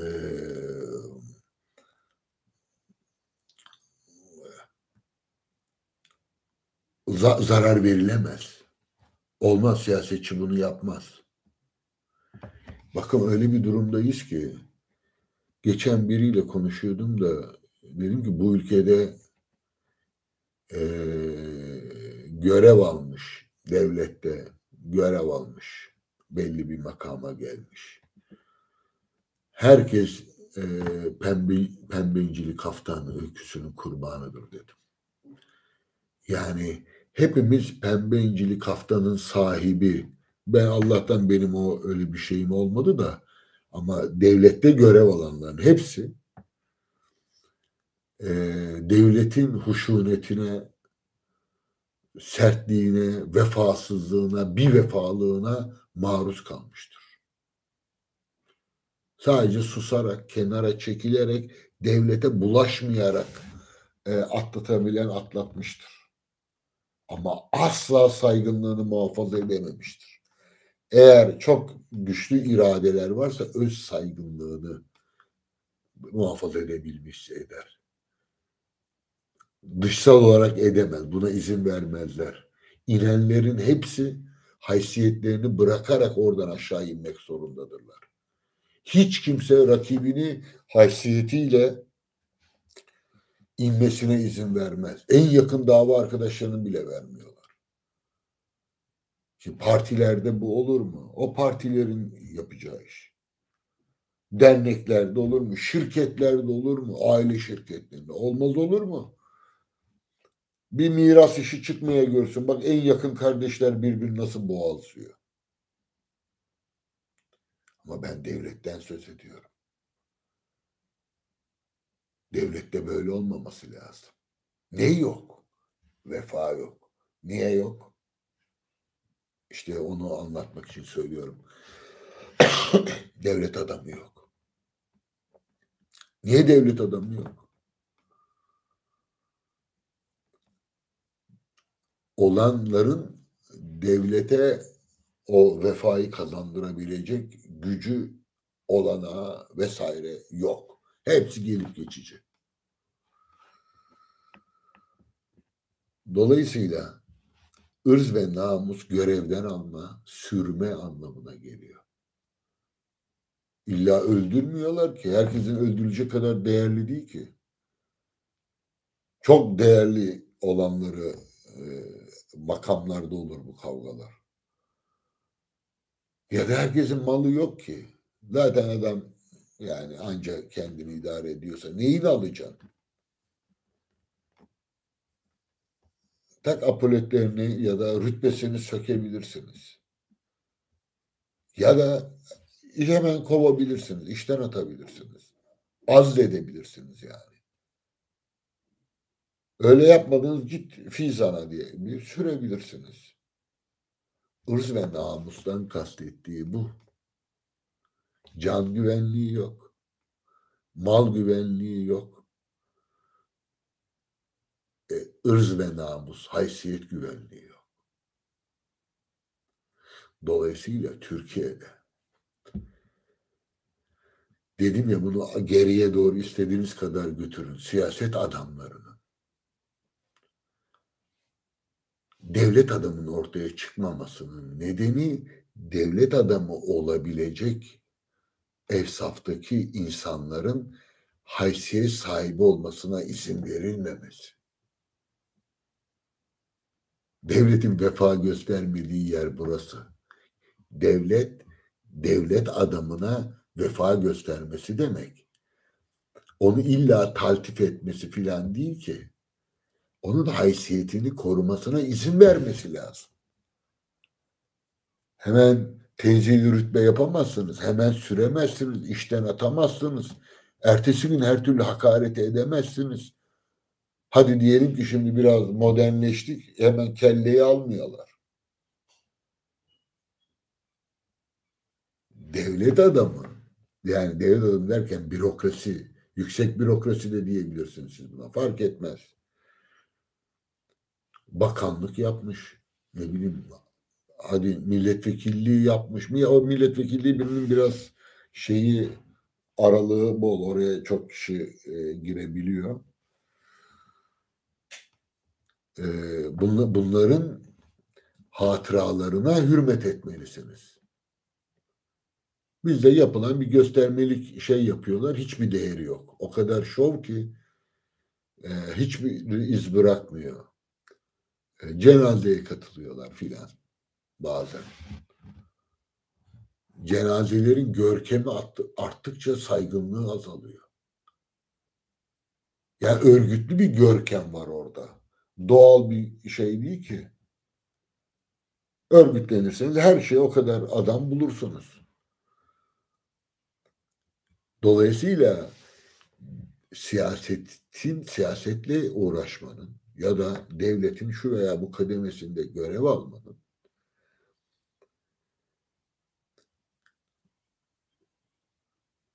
siyasi iktidarın ya da amirlerin her neyse beğenmedikleri, istemedikleri, hoşnut kalmadıkları bir takım özelliklerden dolayı bir insanın canına, malına, ırz ve namusuna çökmemesi lazım. E, diyeceksiniz ki hocam bunlar iktidarda öyle anlaşanlı geliyorlar ki malı da götürüyorlar. Giderken devlet alıyor. Osmanlı'da da müsaaderenin anlamı buydu. E, bilmiyor muyuz? Ne oldu Özal'ın çocukları vardı filan. Ya da Tansu Çiller çocukları filan vardı. Mesut Yılmaz'ın. E, çok alırlarsa rakipleri onları aldıklarına pişman edecek şekilde onları geriye alıyor. Tabii şimdi modern dünyada yurt dışına filan da servet kaçırıldığı için genelde bir şey olmuyor. Çünkü çok götürdüklerinden e, onları geri alabilecek e, kadar e, şey e, ince takip yapamıyorlar. Eğer ideolojik bir düşman haline getirmemişlerse. E, demem o ki e, devlet kendi memurlarına yani kendi erkanına devlet erkanına şimdi örnek vermek istemiyorum günümüzden ama dediğim gibi tarihte dolu şeyde de İstiklal Savaşı'ndan sonra da aynı problem oldu. Ekipler bir ayrıldı. Yani mesela şeyi okuyun serbest fırka macerasını bir okuyun. Ee, şeyi kastetmiyorum. Yani bazı kişisel problemler ile e, işte paşalar arasında problem çıkar, bilmem ne çıkar, müdürler, genel müdürler arasında herkes herkese takar. İnsani olanlarını kastetmiyorum. Ama devletin husumet göstermesi anlaşılabilir bir şey değildir. Dolayısıyla can korkusu, mal korkusu ve ırzı şey e, ırzı namus su kaybetme korkusu. Bunların hepsi güven, devletin güvencesinde olmak zorunda. Gölden düşenin, müdürlükten inenin canına okunmaması lazım. O yüzden bakın e, bizde bürokrasinin en büyük problemi haysiyet sahibi, devlet adamı olabilecek. Yani e, memur olabilir, müdür olabilir, siyasetçiden olmuyor. Yani devlet yönetici takımı için söylüyorum. E, haysiyet sahibi olmalarına izin vermiyorlar. Daha güçlü olan, daha üstte olan onu ezmek istiyor, aşağılamak istiyor. Birbirlerine ya, ya bakanların nasıl istifa ettiklerine bir baksanıza haysiyet olan adam öyle mi istifa eder? Bir kağıda yazıyor filan ne, yaptığı belli değil filan kim kimin ayağını kaydırdı ne oldu? Hiç kimsenin e, birbirine e, şeyi e, hürmeti saygısı yok ki. Kahraman kahraman diye anlatıyorlar. Bir süre sonra bakıyorsun işte o tetikçiydi bilmem neydi diyorlar. Hadi bunları anlıyorum. Bunlar pratiğe yönelik alanları devletin. Ama e, diyelim ki ekonomide e, Merkez Bankası'nda bir görevi var. Yani devletin üst bürokrasisini söylüyorum, yüksek bürokrasiyi söylüyorum. Ya köpek kadar değer verilmiyor ki. Yani bir şeyi biliyor olmanızın hiçbir anlamı yok. Hiçbir şey itiraz edemezsiniz. O yüzden bugünkü bürokrasiye 8. ve 9. yüzyılın başlarında yazılmış siyasetnamelerden biraz okumalarını öneririm. Kendilerini orada görecekler. Hiç sesini çıkarma. Sultana yaklaşma. Ağzını açma. Bakın ne gidiyor? Görüşlerinizi açıkça söyleyemiyorsunuz. Düşüncelerinizi kişinizden ayırarak algılamıyorlar ki. Düşüncelerinizde yanlış varsa ona karşı çıkıyorlar. Sizi düşman belliyorlar, yok ediyorlar. Hele böyle özel dönemlerde FETÖ'cülük, METÖ'cülük gibi e, şey bulurlarsa bir yafta hiç canına e, acımıyorlar. Yani bu şeylerde olur, diktatörlüklerde olur, Sovyetlerde filan öyleydi. Ee, iki dudağının arasında, canında, malında, namusunda, haysiyetinde.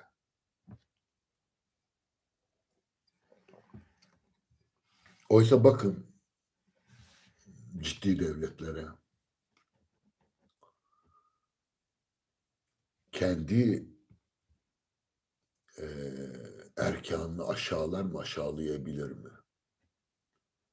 Aşağıdaki ötekisine saygısızlık edemez zaten.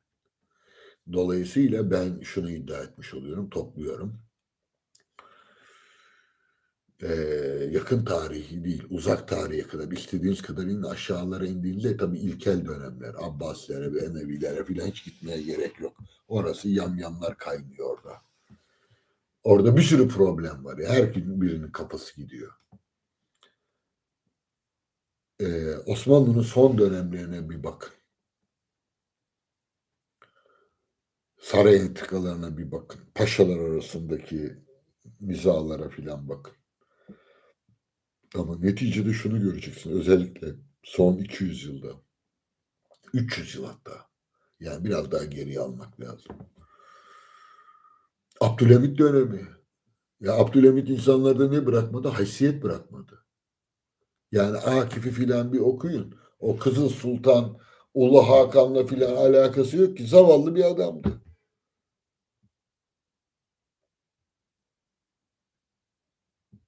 Yani toprak kaybettik mi kaybetmedik mi övenler var, yerenler. Buralara bakmayın ya.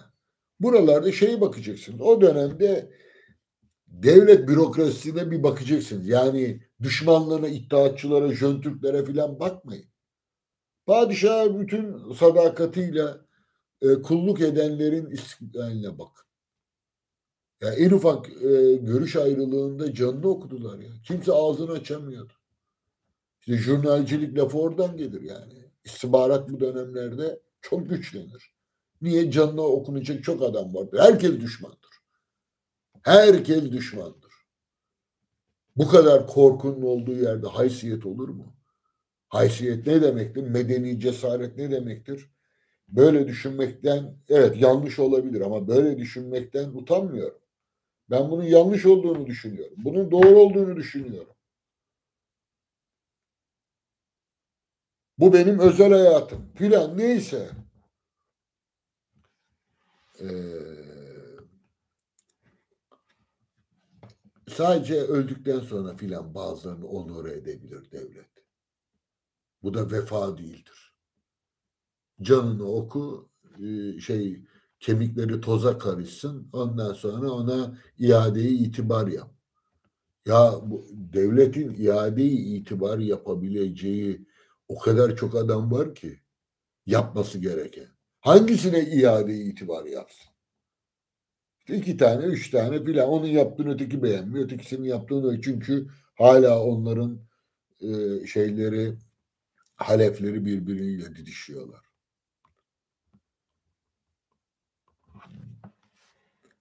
Liyakatin olmaması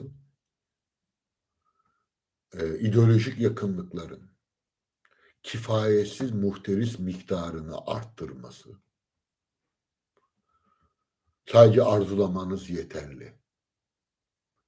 Her haltı yiyebilirsiniz oraya gelmek için gelirsiniz. Çünkü adam yok. Ben bildim bileli bütün teşkilatlarda böyle laflar vardır. Adam yok ne yapalım onu getirdik çünkü onu, onun dayısı bilmem ne falan filan. Adam yok. Adam niye yok? Kahtı rical niye değişmez bir mottodur? Bizim tarihimizde, siyasal tarihimizde. Çünkü adam yetişmesine imkan verilemez ki. Ee, devletin değil üstlerinde ortalarında bile görev almak haysiyeti korumayı engelliyor. Mal güvende değil, can güvende değil, haysiyet güvende değil. Bunların hepsi her an gidebilir. Korku var. Korku olduğunda ne olur? Bürokrasi bütün haysiyetini kaybeder. Bakanlara bakın, milletvekillerine bakın. Sadece yağcılık yaparlar. Göze girmeye çalışırlar. Malı götürmeye çalışırlar. Kendilerini düşünürler. Niye? Ee, kendisin, kendilerini kendisine adayabilecekleri bir yücelik bulmazlar devlette.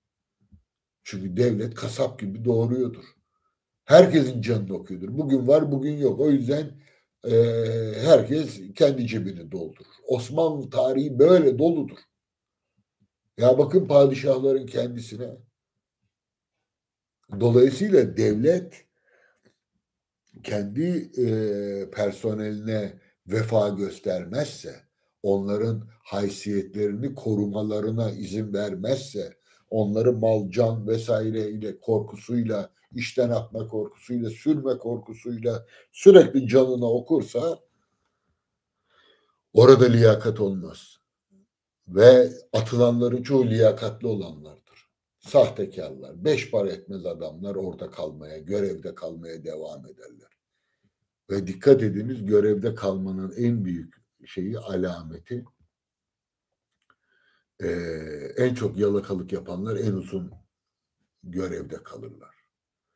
Bir kısmı ayrıldıktan sonra da ağızlarını açamazlar. Ağızlarını açanlar haysiyetleri pahasına e, tekmelenerek çamura atılanlardır. Onların yeniden siyaset yapmaya çalışmalarının sebebi o haysiyeti kurtarma çabasıdır. Fakat kötü olan şudur. Kişisel haysiyetlerini mi e, kurtaracaklar? Devletin haysiyetini mi? Bugün mesela bazı siyasetçilerin halkı ikna edememesinin nedenini yıllarca oradaydınız diyorlar. Ağzını açmadın. Yalakalık yapmaktan başka hiçbir şey yapmadınız. Öv öv öv öv. Hiçbir eleştiriye açık değildiniz. Başkalarının görüşlerine hiç saygı duymadınız. Sadece şov değeri olan şeyler yaptınız. Sonra gözden düştünüz. Yanımıza geldiniz. Hoş geldiniz. E şimdi ne yapacaksın? Tekrar oraya tırmanmaya çalışıyorsun. Hem de seni oraya getirenlere karşı filan. Olmaz. E, muhalif partilerin bu kadar fazla artmasının nedeni de bu. Haysiyet kaybından dolayı. Onlara vefa edilmediği için. Kadro kıymetleri bilinmediği için. İşlerinde çok değerli insanlar da vardır muhakkak. Hizmet etmiştir, bilmem ne yapmıştır. Ağlarını niye açamıyorlar? görevi kaybettik bari emekliliği sağ salim geçirelim diye.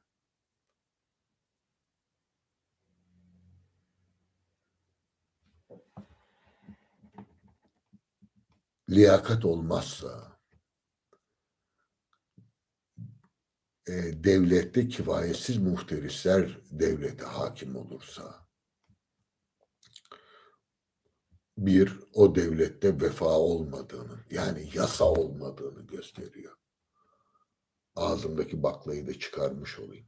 Yasa olsa, yasa onları korusa keyfi idare olmaz. Herkes yasayla kendisini koruyabilir. Yasa e, bir insanın neyle yargılanmadan mesela şeyin Mustafa Reşit Paşa'nın en ısrar ettiği şey diyeceksiniz ki can e, şeyi nereden geliyor? Can güvenliğini niye söylesin? Müslüm gayrimüslim herkesin can güvenliği. Ya yargılamadan herkesi öldürüyorlardı. Açın okuyun. Örnekleri var. Yargılanmıyordu bile. Yani bunu padişah yapıyordu diye algılamayın. Adam vali, mali aşağıda, kaymakam, sipahi her neyse. Kırbaçlatıyor adamı. Yani e, öyle örnekler var ki insan anlamıyor. Yani e, hayal edemiyor. Güven yok. Yani bir korku iklimi var. Buradaki korkuyu maddi korku hani e, şeydeki gibi de düşünmeyiniz. E, darbe dönemlerinde asker işte hükümet kurulduğunda falan o, o manadaki fiziksel e, şiddeti e, korkuyu kastetmiyorum.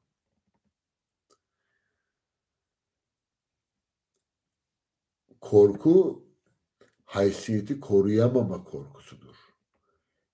E, insan hiçbir zaman yerinde duramıyor. Bakın görev değişir, görevi bırakabilirsiniz, siz gidersiniz, başkası gelir, bayrağı birinden alır, diğerine verirsiniz filan. Vardı mı öyle numaralar? Devlette görev teslimi denen bir şey vardır. İyi de görevi teslim eden neyle oradan ayrılır? Hiç değilse haysiyetiyle ayrılır. Bir başarısızlık vesaire de olabilir. Siyasi iktidarla veya ne bileyim amirleriyle bir, bir takım şeyler de olabilir e, bireysel olanı kastetmiyorum. E, ama neticede e, yönetimde yer alanların kendilerinde bir beka, bir kalıcılık hissetmeleri lazım. Kimde kalıcılık? Hangi memurda kalıcılık duygusu var ya? Atıldı mı açım diyor. Malına da el koyuyorlar, bilmem ne yapıyorlar, yaptılar onları. Yani mal, malını koruyu mahkemeye karşı kendini savunamazsın. Kanunlar e, seni koruyamaz. E, çünkü oradaki mekanizma da e, o ve, vefasız. Yani hukuk hukuk ne demektir ya? Haklarımıza riayettir. Vefa dendiğinde akla hukuk gelir. E, siyasal bir hukuk olması lazım. Toplumsal bir hukuk olması lazım. Neticede yasa bizi koruması lazım. Süreklilik duygusu, kalıcılık duygusu yasa sayesinde olur. Herkes gelir gider ama neticede e, şey devlet yenilene yenilene gider. İngilizlere bir bakın. Amerikalılara bir bakın. Fransızlara bir bakın. Ya devlette çalışmış olmanın görev almış olmanın bir itibarı olması lazım. Askerlerin bir itibarının olması lazım. Ki vardı. Şimdi var mı? Aynı şekilde. Ya politize edilmeyen hiçbir şey kalmadı ki politize edilmesi tabii şurada e, bazı şeyleri ifade etmem lazım. Kişiselleşmemesi lazım. Yani meclislerde yapılan tartışmaları görüyoruz. Birbirlerine ettikleri hakaretleri görüyoruz. Yani biraz daha uslup olması lazım. Devlet adamı ağırlığı dediğim şey yok. Gelenlerde de yok, gidenlerde de yok. Gidenler zaten o haysiyeti kaybederek oradan ayrılıyorlar. Onları e, şeyle el sıkışarak e, hadi bakalım hayırlı olsun diyerek ayrılmalarına izin vermiyorlar ki. Yani bu boşanmalar öyle boşanma hep cinayetle bitiyor. Siyasal anlamda söylüyorum. Metaforik cinayet.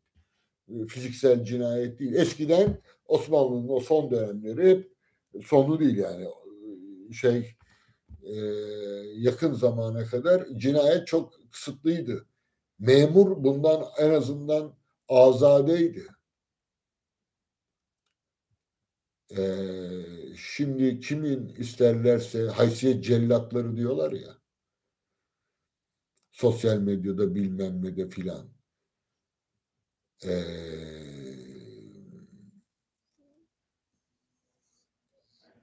ciddi insanların haysiyetlerini muhafaza etmelerine izin vermiyorlar. Hiç unutmuyorum Melik Gökçek, Bülent Arınç şeylerine bakın. Ee, hiç birbirlerinin gözlerinin yaşına baktılar mı? İki taraf için de söylüyorum.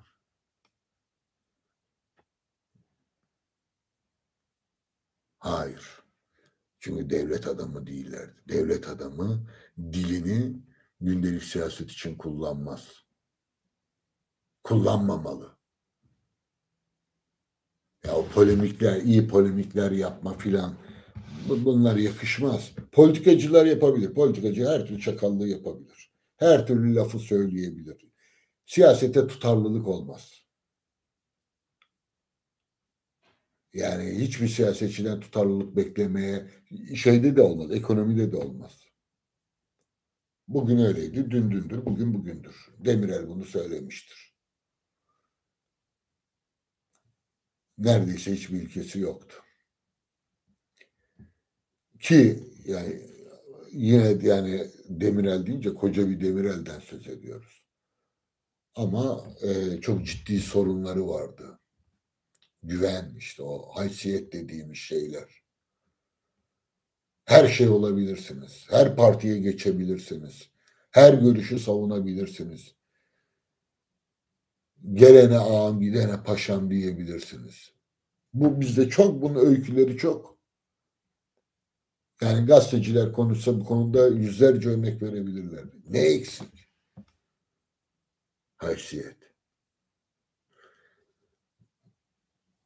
Ee, muhalefete düşenleri de iktidara gelenler için de iki taraftanın en yoksun olduğu şey. İşte bekayı tehlikeye düşüren budur. Kalıcılık olmaz. Devlet adamının kalıcılığı yoksa devletin kalıcılığı nasıl olsun? Muhalif bile olsa yani ölmeden ya ancak cenazesine giderler. Bakın ben size söyleyeyim. Muhalifler ancak birbirlerinin cenazelerine giderler e, karşı karşıya gelmişken görüşmeyi beceremezler.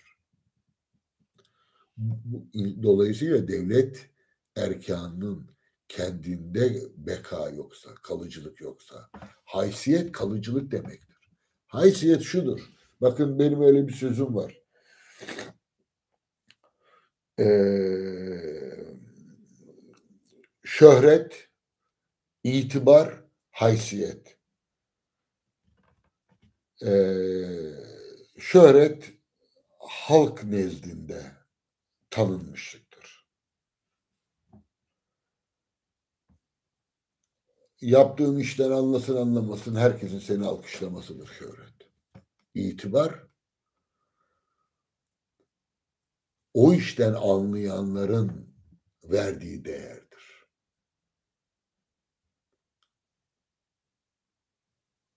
Yani bir doktorun itibarı varsa diyelim ki tıp camiası ona çok değer veriyorsa onun itibarı vardır deriz. Ee, son dönemde mesela e, şeylere sardım biraz bu belgesellere. Hiç anlamadığım alandır. Futbol, basketbol filan şeylerine bakıyorum. Birkaç tanesini bitirdim şöhret olup da haysiyetini kaybetmeyen kimseyi hatırlamıyorum. Bir Pele e, zannediyorum ayakta kalmış gözüküyor. Muhammed Ali ayakta kaldı. E, ama ne futbolcular var. Ya Maradona mesela ne oldu? E, işte kokaini, mokaini filan falan perişan oldu ve e, şeyi e, zirveye çıkarttığı Napoli'den bir suçlu olarak e, haysiyet filan kalmadan attılar. Onun da tabii nedenleri var şimdi şeyin.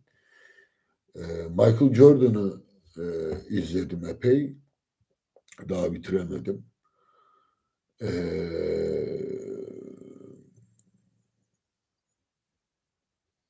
ya ne kadar düzgün bir adam dedim. Yani bitmek de bilmiyor diziymiş zaten. En sona geldim şeyin kumar hastalığı var. Hem de nasıl. Oradan ona saldırmaya çalışıyorlar filan. Yani çok düzgün biri olduğu anlaşılıyor. Ama yani diyor ki benim tabiatımda rekabet var. Ee, rekabet o bütün varlık sebebi. Nasıl bir ezilmeyse o artık. Nasıl bir eziklik. Ee, bitmek bilmez bir rekabet.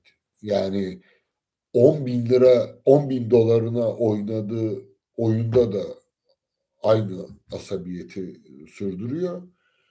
Gidiyor bir dolarını oynayan arkadaşlarıyla da oynuyor. Diyor ki ya sen diyor 10 bin dolarını oynuyorsun. Bir dolarını oynuyoruz biz. Yani bize niye geliyorsun diyorlar. Olsun sizin bir dolarınız benim cebimde olacak diyor filan. Şimdi hepsi bir itibar şeyi, öyküsü, itibar kaybediş öyküsü. Ama şöhret var. İtibar var. İtibarı da kaybediyorsunuz. Çünkü haysiyeti ve itibarı size dışarıdan verirler. Haysiyeti halk verir. İtibarı diyelim ki meslektaşlarınız, işten anlayanlar verir. Haysiyeti. Ama geri alırlar. Verenler geri alır. Yani isim vermeyelim ama bir sürü yıkılmış adam var. E, bir zamanlar dev gibi görünüyorlardı. Şimdi yani neyse e, sefil durumdalar. Hiçbir itibarları yok. Şöhret, şöhretleri de kalmamış.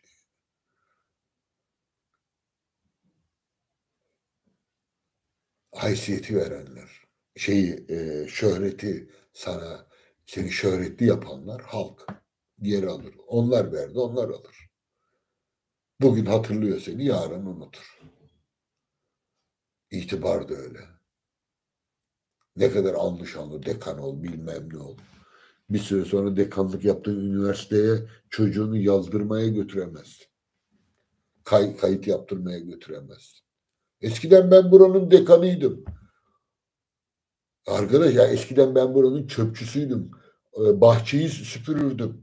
Merdivenleri silerdim diyen adamı e, şeyle, alayla, valayla karşılamaları lazım. Dekanlık yaptım, ben burada bölüm başkanlığını yaptım. Ben burada profesörlük yaptım diyorsun.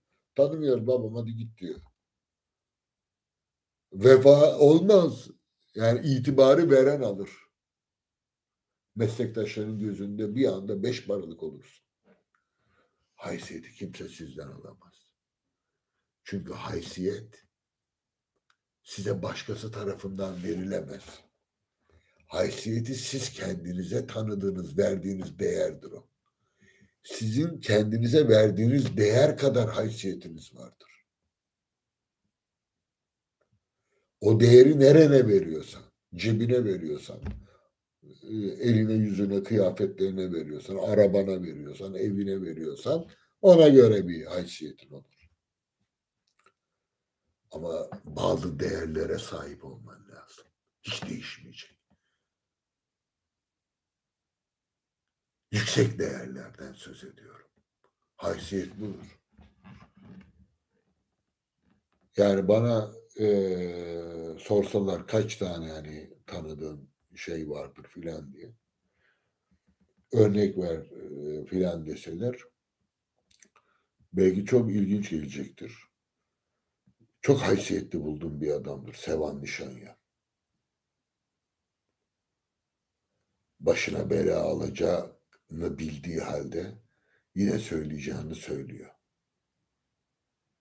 Söyledi yani zamanında. Ee, tutunamadı. Tutunamazlar yani. Olmaz. Ee, haysiyet sizin kendinize verdiğiniz değerdir. Başkaları sizden onu alamaz. O halde demeniz lazım ki şimdi hocam e, bütün konuşma haysiyet üzerineydi. Vefa o değil miydi? Devletin vefası yok. Devletin vefası kendi memurlarına, kendi bürokratlarına, hadi eski tabirle söyleyeyim, kendi erkanına haysiyet vermesi değil. Onlarda zaten olan haysiyete hürmet etmesidir. Vefa budur. Vefa hatıralara hürmettir. 40 ya 40 yıllık kahvenin e, ne derler hatırı var. Yani e, ben eski arkadaşlarıma karşı hep bir hukuku muhafaza ettim. Yani belki e, yüzünü görmeye bile tahammül edemeyeceğim kadar kızsam, kızmış olsam veya bir takım yanlışlara tanık olsam bile eski günlerin hatırı var dedim. Talebelerimden. E, birçoğundan da vefa gördüm. Ya da birçoğundan değil, ya bir kısmından.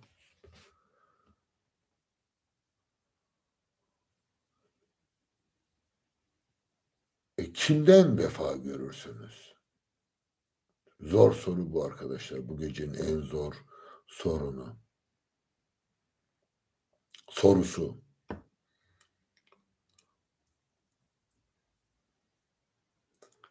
Haysiyetli olan vefa eder. Ahde vefa için ahde vefa edecek olan da haysiyet olması lazım. Demesi lazım ki 30 yıllık meslektaşım, 40 yıllık arkadaşım, Evet hata yaptı, yanlış yaptı. Diyelim ki öyle düşünüyorsunuz. Ama aramızda 30 sene var. Namussuzluğunu görmedim, hırsızlığını görmedim. Yani filan. Kendisine öz bilinci odur, haysiyeti olduğu için karşı tarafın haysiyetini tanır. Yani haysiyetiniz yoksa haysiyeti olana hürmet edemezsiniz. Ya da bir adamın haysiyetine hürmet edemezsiniz. Ev sahibisiniz, kiracınıza malınız gibi davranmak istersiniz. Amirsin, memuruna her türlü rezaleti yaparsın. Mangalda kül bırakmazsın. Lafa gelince yemek söylerken garsona adam yerine koymazsın. Ya iktidar alanlar o kadar çok ki. Ama haysiyetin olsa dilenci ya. Yani e, bu söyleyeceğim inşallah ağır kaçmaz. Ama e, benim hiç haysiyet bulmadığım bir tip vardır. Dilencilere çalış filan diyenlerdir. Yani dünyada en çok midemi bulandıran şeylerdendir. Yani Allah rızası için abi işte bir sigara ver diyor, bir sarhoş geliyor, bir ispirtocu geliyor. Abi beş lira diyor, ekmek ver diyor filan. Açım abi diyor. Ekmek alayım diyor. Yok abi sen parasını ver diyor. Ya böyle boş boş dolaşma bak aslan gibi adamsın git çalış diyor. Şimdi bir şey diyeceğim ama ayıp olacak. Ya arkadaş sana ne vereceksen ver paranı. Vermeyeceksen müsait değilim kardeşim filan diye yürü git yoluna. Adama ne çalış diyorsun ya. Dilenme dilenmek ayıp diyorsun. Yani biraz kendini güçlü hisset. Biraz o iktidarı şey yapsın o pis nefis en şeye zayıf onu kullanırsın. Biraz biraz hisset onun zayıf olduğunu. Ama haysiyeti olan adam şunu düşünür. Ben de orada olabilirdim. Yani bu adam benim verdiğim parayı hak etmiyor. Ya da ben buna para vermeyi düşünmüyorum. Dilenciden söz ediyoruz. Ama olsun yani haysiyetine hürmet etmek zorundayım. Ya o da bir insan. Yani aldatıyor olabilir, sahtekar olur filan. Ben dilencilerde yaşlı oldu mu sahtekarına bile hürmet ederim. Yani genci e, yaşlısı fark etmez. Veririm demiyorum. İhtiyar olursa biraz etkileniyorum da ama e, genç de olsa şey yapamam. Niye? Ben benim kendi haysiyetim var. O zaman onun da haysiyeti var. Haysiyeti olan haysiyeti olana başkasının haysiyetine hürmet eder devlet niye hürmet etmiyor? Kendi erkanına, kendi bürokrasisine, kendi, devlet adamlarına. Ya devletin önce kendi haysiyet olacak. Ve o zaman kendi elemanlarına, kendi ne yıllarca hizmet etmiş, emekli olmuş, olmamış neyse asker, polis, e, doktor, hemşire, öğretmen filan. Ya emeklilere ya emeklilere ya hürmet ediyor mu devlet ya? Bir bakın ne e, e, şimdi girmeyeyim oralara. E, oyalamayacağı yerlere hürmet ediyor mu? Oysa devletin yasaları olması lazım ve kim gelirse gelsin. Alttakiler de geliyor gidiyor, değişiyor toplum. Üsttekiler de gidiyor geliyor. Hangisi var şimdi? Ama yasanın değişmemesi lazım. Bir şeylerin değişmemesi lazım. Nedir bu? İnsan haysiyetidir. Eğer bir yerde görev yapıyorsanız o, o, o şirkette ya da o e, dairede e, yıllarca çalışmış olmaktan ötürü haysiyetinize hürmet edilmeli. Yaşlılığınıza hürmet edilmeli. E, kalıcılık bu. Beka bu. Yani devlet vefa etmezse, devlette vefa yoksa beka olmaz. O yüzden bizde kan durmuyor.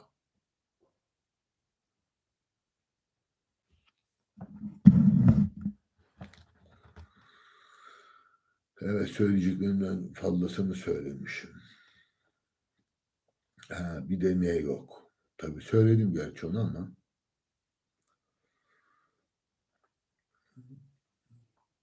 Tecrübe. Ee, devlette tecrübe. Tecrübeyi bir bilgi değeri olarak tecrübeden söz etmiyorum. Tecrübenin bilgi değeri yoktur. Yani yaşlı birinin yaşamla ilgili önerilerini çok ciddi almamız gerekmez. Şaşırtıcı gelebilir birçoğunuza. Ben de yaşlı bir adamım.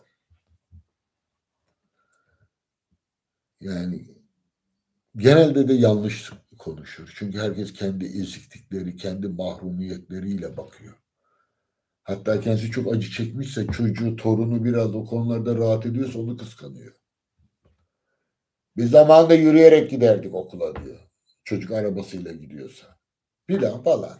Eskiden biz ayakkabı bulamazdık diyor. E, tecrübeleri onu ekşittiyse e, şefkatle bakamıyor. Ben çektim ama bu çekmesin diyemiyor. Kendi çocuğu, torunu, bilmem nesi filan. Dolayısıyla tecrübe bilgi değeri taşır mı emin değilim. Hatta bugün modern bilimler açısından söylüyorum, teknoloji filan dikkate alarak e, tecrübenin artık değeri yok. Yani bir bankanın ya da ne bileyim bir şirketin en, te, en tepesinde olur. 20 yıl hatta 2 yıl diyeceğim ama bazıları fazla sallıyor diyecekler. 3-5 yıl içerisinde o sahanın en büyük cahili haline gelebilirsiniz. Tecrüben ben 40 yıldır işte bu şirkette çalışıyorum, 40 yıldır iletişimciyim, 40 yıldır bankacıyım filan demenizin hiçbir anlamı yok. 2 yıl içerisinde cahilin birine dönersiniz. Ama tecrübe deyince ben görgü anlıyorum. Bilginin zekanın deneyimle birleşmesi. Tadından yenmez. Devletin en çok ihtiyaç duyduğu şey budur.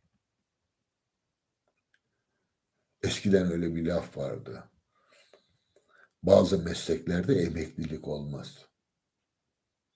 Yani askerler emekli olmaz yani.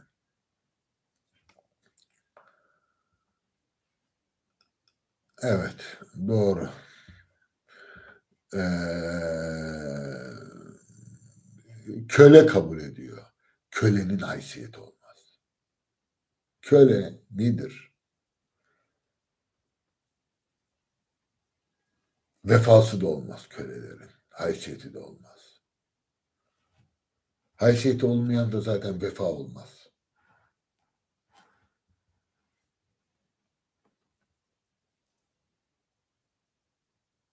Görgü devletin görgüsünün birikmiş olması lazım. İngiliz siyasetine bir bakın. Bak Almanlara bakın. Ya hiç Helmut Schmidt'le bir röportaj yapılmıştı. Ben o zaman Berlin'deydim. Diyorlar ki işte eski Cumhurbaşkanı bilmem ne filan falan ya da işte neyse şansölye. Ya bir sürü 15 tane e, korumanız varmış filan falan işte. Siz mi istediniz bu korumaları veya işte bu kadar niye koruma filan. Ya verdiği cevaba bayılmıştım. Dedi ki e, Alman devleti buna karar verir. Beni nasıl e, kaç kişiyle koruması gerekir, gerekmez. Korunmam gerekir mi, gerekmez mi? Yani dedi ki bana gelecek zarar Alman devletine gelir. Devlet kendini korumak için beni korur. Yani başbakanını koruyamadı derler. Bakanını koruyamadı derler. O yüzden devlet köpeğini bile koru, korumalı. Köpek bile olsa devletin köpeğidir. Eğer devlet kendini korumak istiyorsa. Ama köle, köle nedir? Köle yaşamak pahasına her haltı yemeye hazır adam demektir. O yüzden köle de haysiyet olmaz. Haysiyet olsa zaten köle kalmayı başaramaz. Ya kaçar ya vurulur ya itiraz eder falan filan. Köle için bir tek hedef vardır. Yaşamda kalmak. Karşılığında her şeyini verir. Nedir o? En, en başta haysiyet. Kölenin haysiyeti olmaz. Haysiyeti olsa köle olmaz zaten. Şimdi devlet kendi memurunu köleleştirmemeli. Yani memur köle demek değil. Yani modern dönemde sadakat istemek ki sadakati ideolojik sadakat, kişisel sadakat filan olarak düşünüyorum. Geçen bir şey e, video gördüm onunla e, kapatayım. E, fakat bu internette filan bir sürü şey katakulliler oluyor. Tuzağa düşebiliyor. Bazen beğeniyorum. Uydurma e, retweet ediyorum. Bakıyorum sonra onlar fotomontaj diyorlar filan. Bodrum'da mı ne bir e, ormanı da e, bir yerden kum çalıyorlar. Büyük bir şirket. Yukarıdaki Ankara ile birlikte götürüyorlar. Sonra kumları yakalıyorlar. E, kamyonları filan. E, şey tutmanıza gerek yok falan filan derken bir çocuk olmaz diyor ben tutacağım. Ne yapıyor? Yapıyor şeyi tutuyor. E, evrak tutuyor. Sonra çocuğa yapmadıkları kalmıyor fakat duyuluyor. Sonra görevi iade ediliyor. Bir daha atıyorlar bilmem ne oluyor filan. Yani öykü ne kadar doğruydu bilmiyorum ama resmi de vardı. Pırıl pırıl bir çocuktu. Yani bir tane adam ben görevimi yapacağım diyor. Ben orman koruma memuruyum veya işte neyse burada görevliyim. Buradan şey yapıyorlar. Ee, ben bunları zapta geçmek zorundayım diyor. Ya e, şey olacak o kadar da filan hep alay edilirdi. Memurlar, trafik polisleri, sen, sen kimsin? Sen beni tanıyor musun? Ben kimim biliyor musun? Şimdi düşünsene polisin ben kimim biliyor musun diyor. E, kimsin işte falan filanın bilmem nesiyim. E, ertesi gün Ağrı'ya gideceğim. Şimdi devletin vefası budur işte. Memurunun haysiyetine sahip çıkma. Onun görevden almalarına izin vermeme. İstediği gibi sürememeli. İstediği gibi e, tenzili rütbe edememeli Azzedememeli, atamamalı. Eskiden biraz öyleydi. Olağanüstü şartlarda olağanüstü yasalar devreye girer ve haysiyet kalmaz. Haysiyet kalmadığında hukuka, yasaya güven kalmaz. Eğer devlet kendi erkanına vefa göstermezse onlardan vefa göremez. Devletin vefa göstermesi lazım. Yani bürokrasinin e, bir haysiyeti olduğunu ve o hays köle olmadıklarını e, görevlerini yaptıkları sürece onları şu veya bu nedenle e, haysiyetlerine ilişmeyeceğini vaat etmesi ve bunu yerine getirmesi lazım. Şu anda Türkiye'deki en büyük sorun bu. Eğer bir problem çıkarsa bekayı bağları şöyle devlet vefasız olursa yani her türlü katakulliyi çevirmeye hazır hale gelirsin. Ee, beka için daha büyük işler yapabilir zannediyorlar. Bunlar gelip geçici. Yukarıdan öyle gözükür. Sinek gibi gözükür halk. E, yüksek bürokraside vardır bu. Dolayısıyla şu anda Türk devletinin en büyük problemi nedir dense e, hiç tereddüt etmeden e, devlet adamı yetişmiyor derim. Haysiyetli memurlar, yüksek memurların haysiyetlerini muhafaza etmelerine izin verilmiyor. Herkes her yerde paylanabiliyor. Kimse kimseye kafa tutamıyor. Yani kafa tutamıyor derken memurların sınırları olduğunu bilirim. Ama en azından haysiyetini koruması lazım. Faizi indirelim indirmeyelim? Mesela diye ki Merkez Bankası ile ilgili bir sürü adam gitti geldi.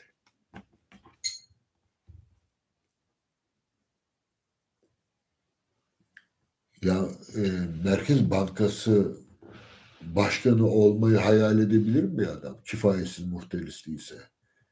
Yani ciddi bir biri ister mi? Ciddi bir din adamı Diyanet İşleri Başkanı olmak ister mi?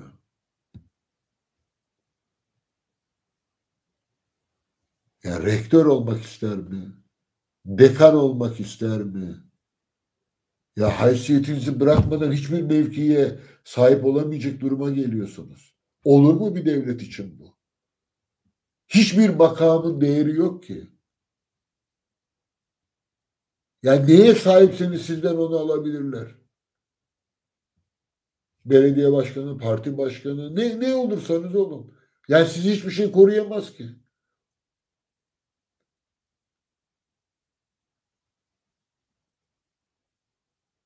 Yani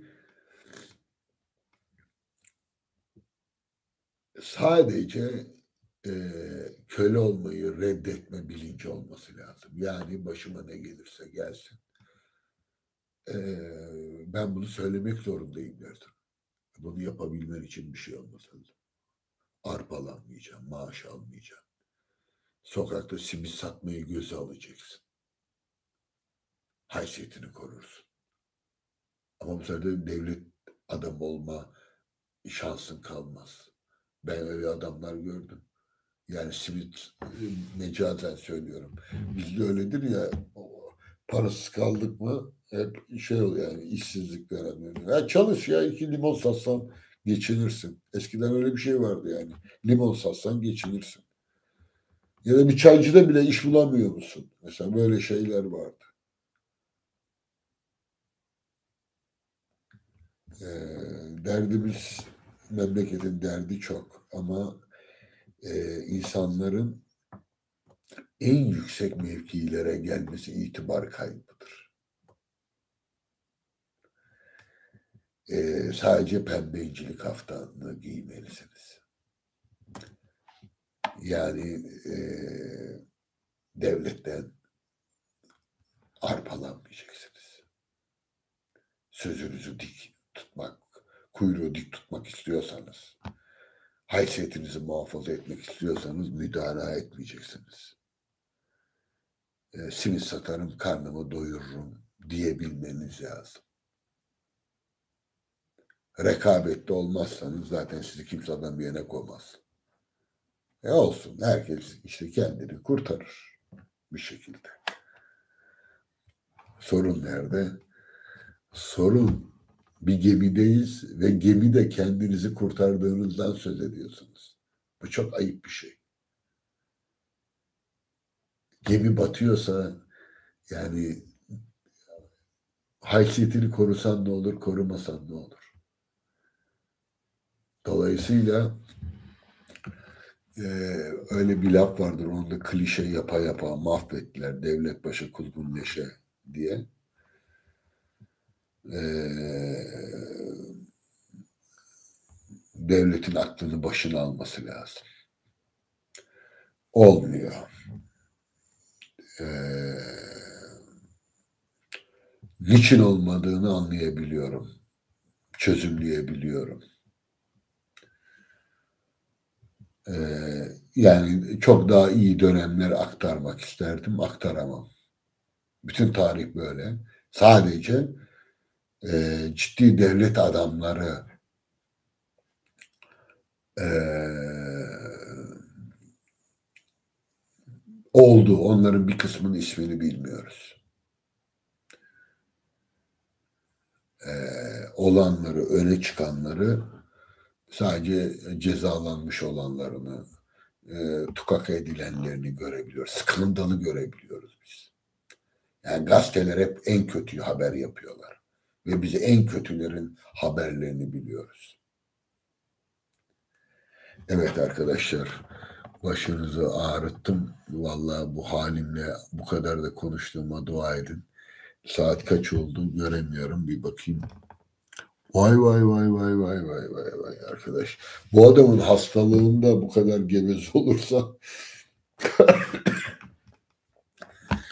e, hoşça bakın zatınıza. Hayırlı geceler diliyorum.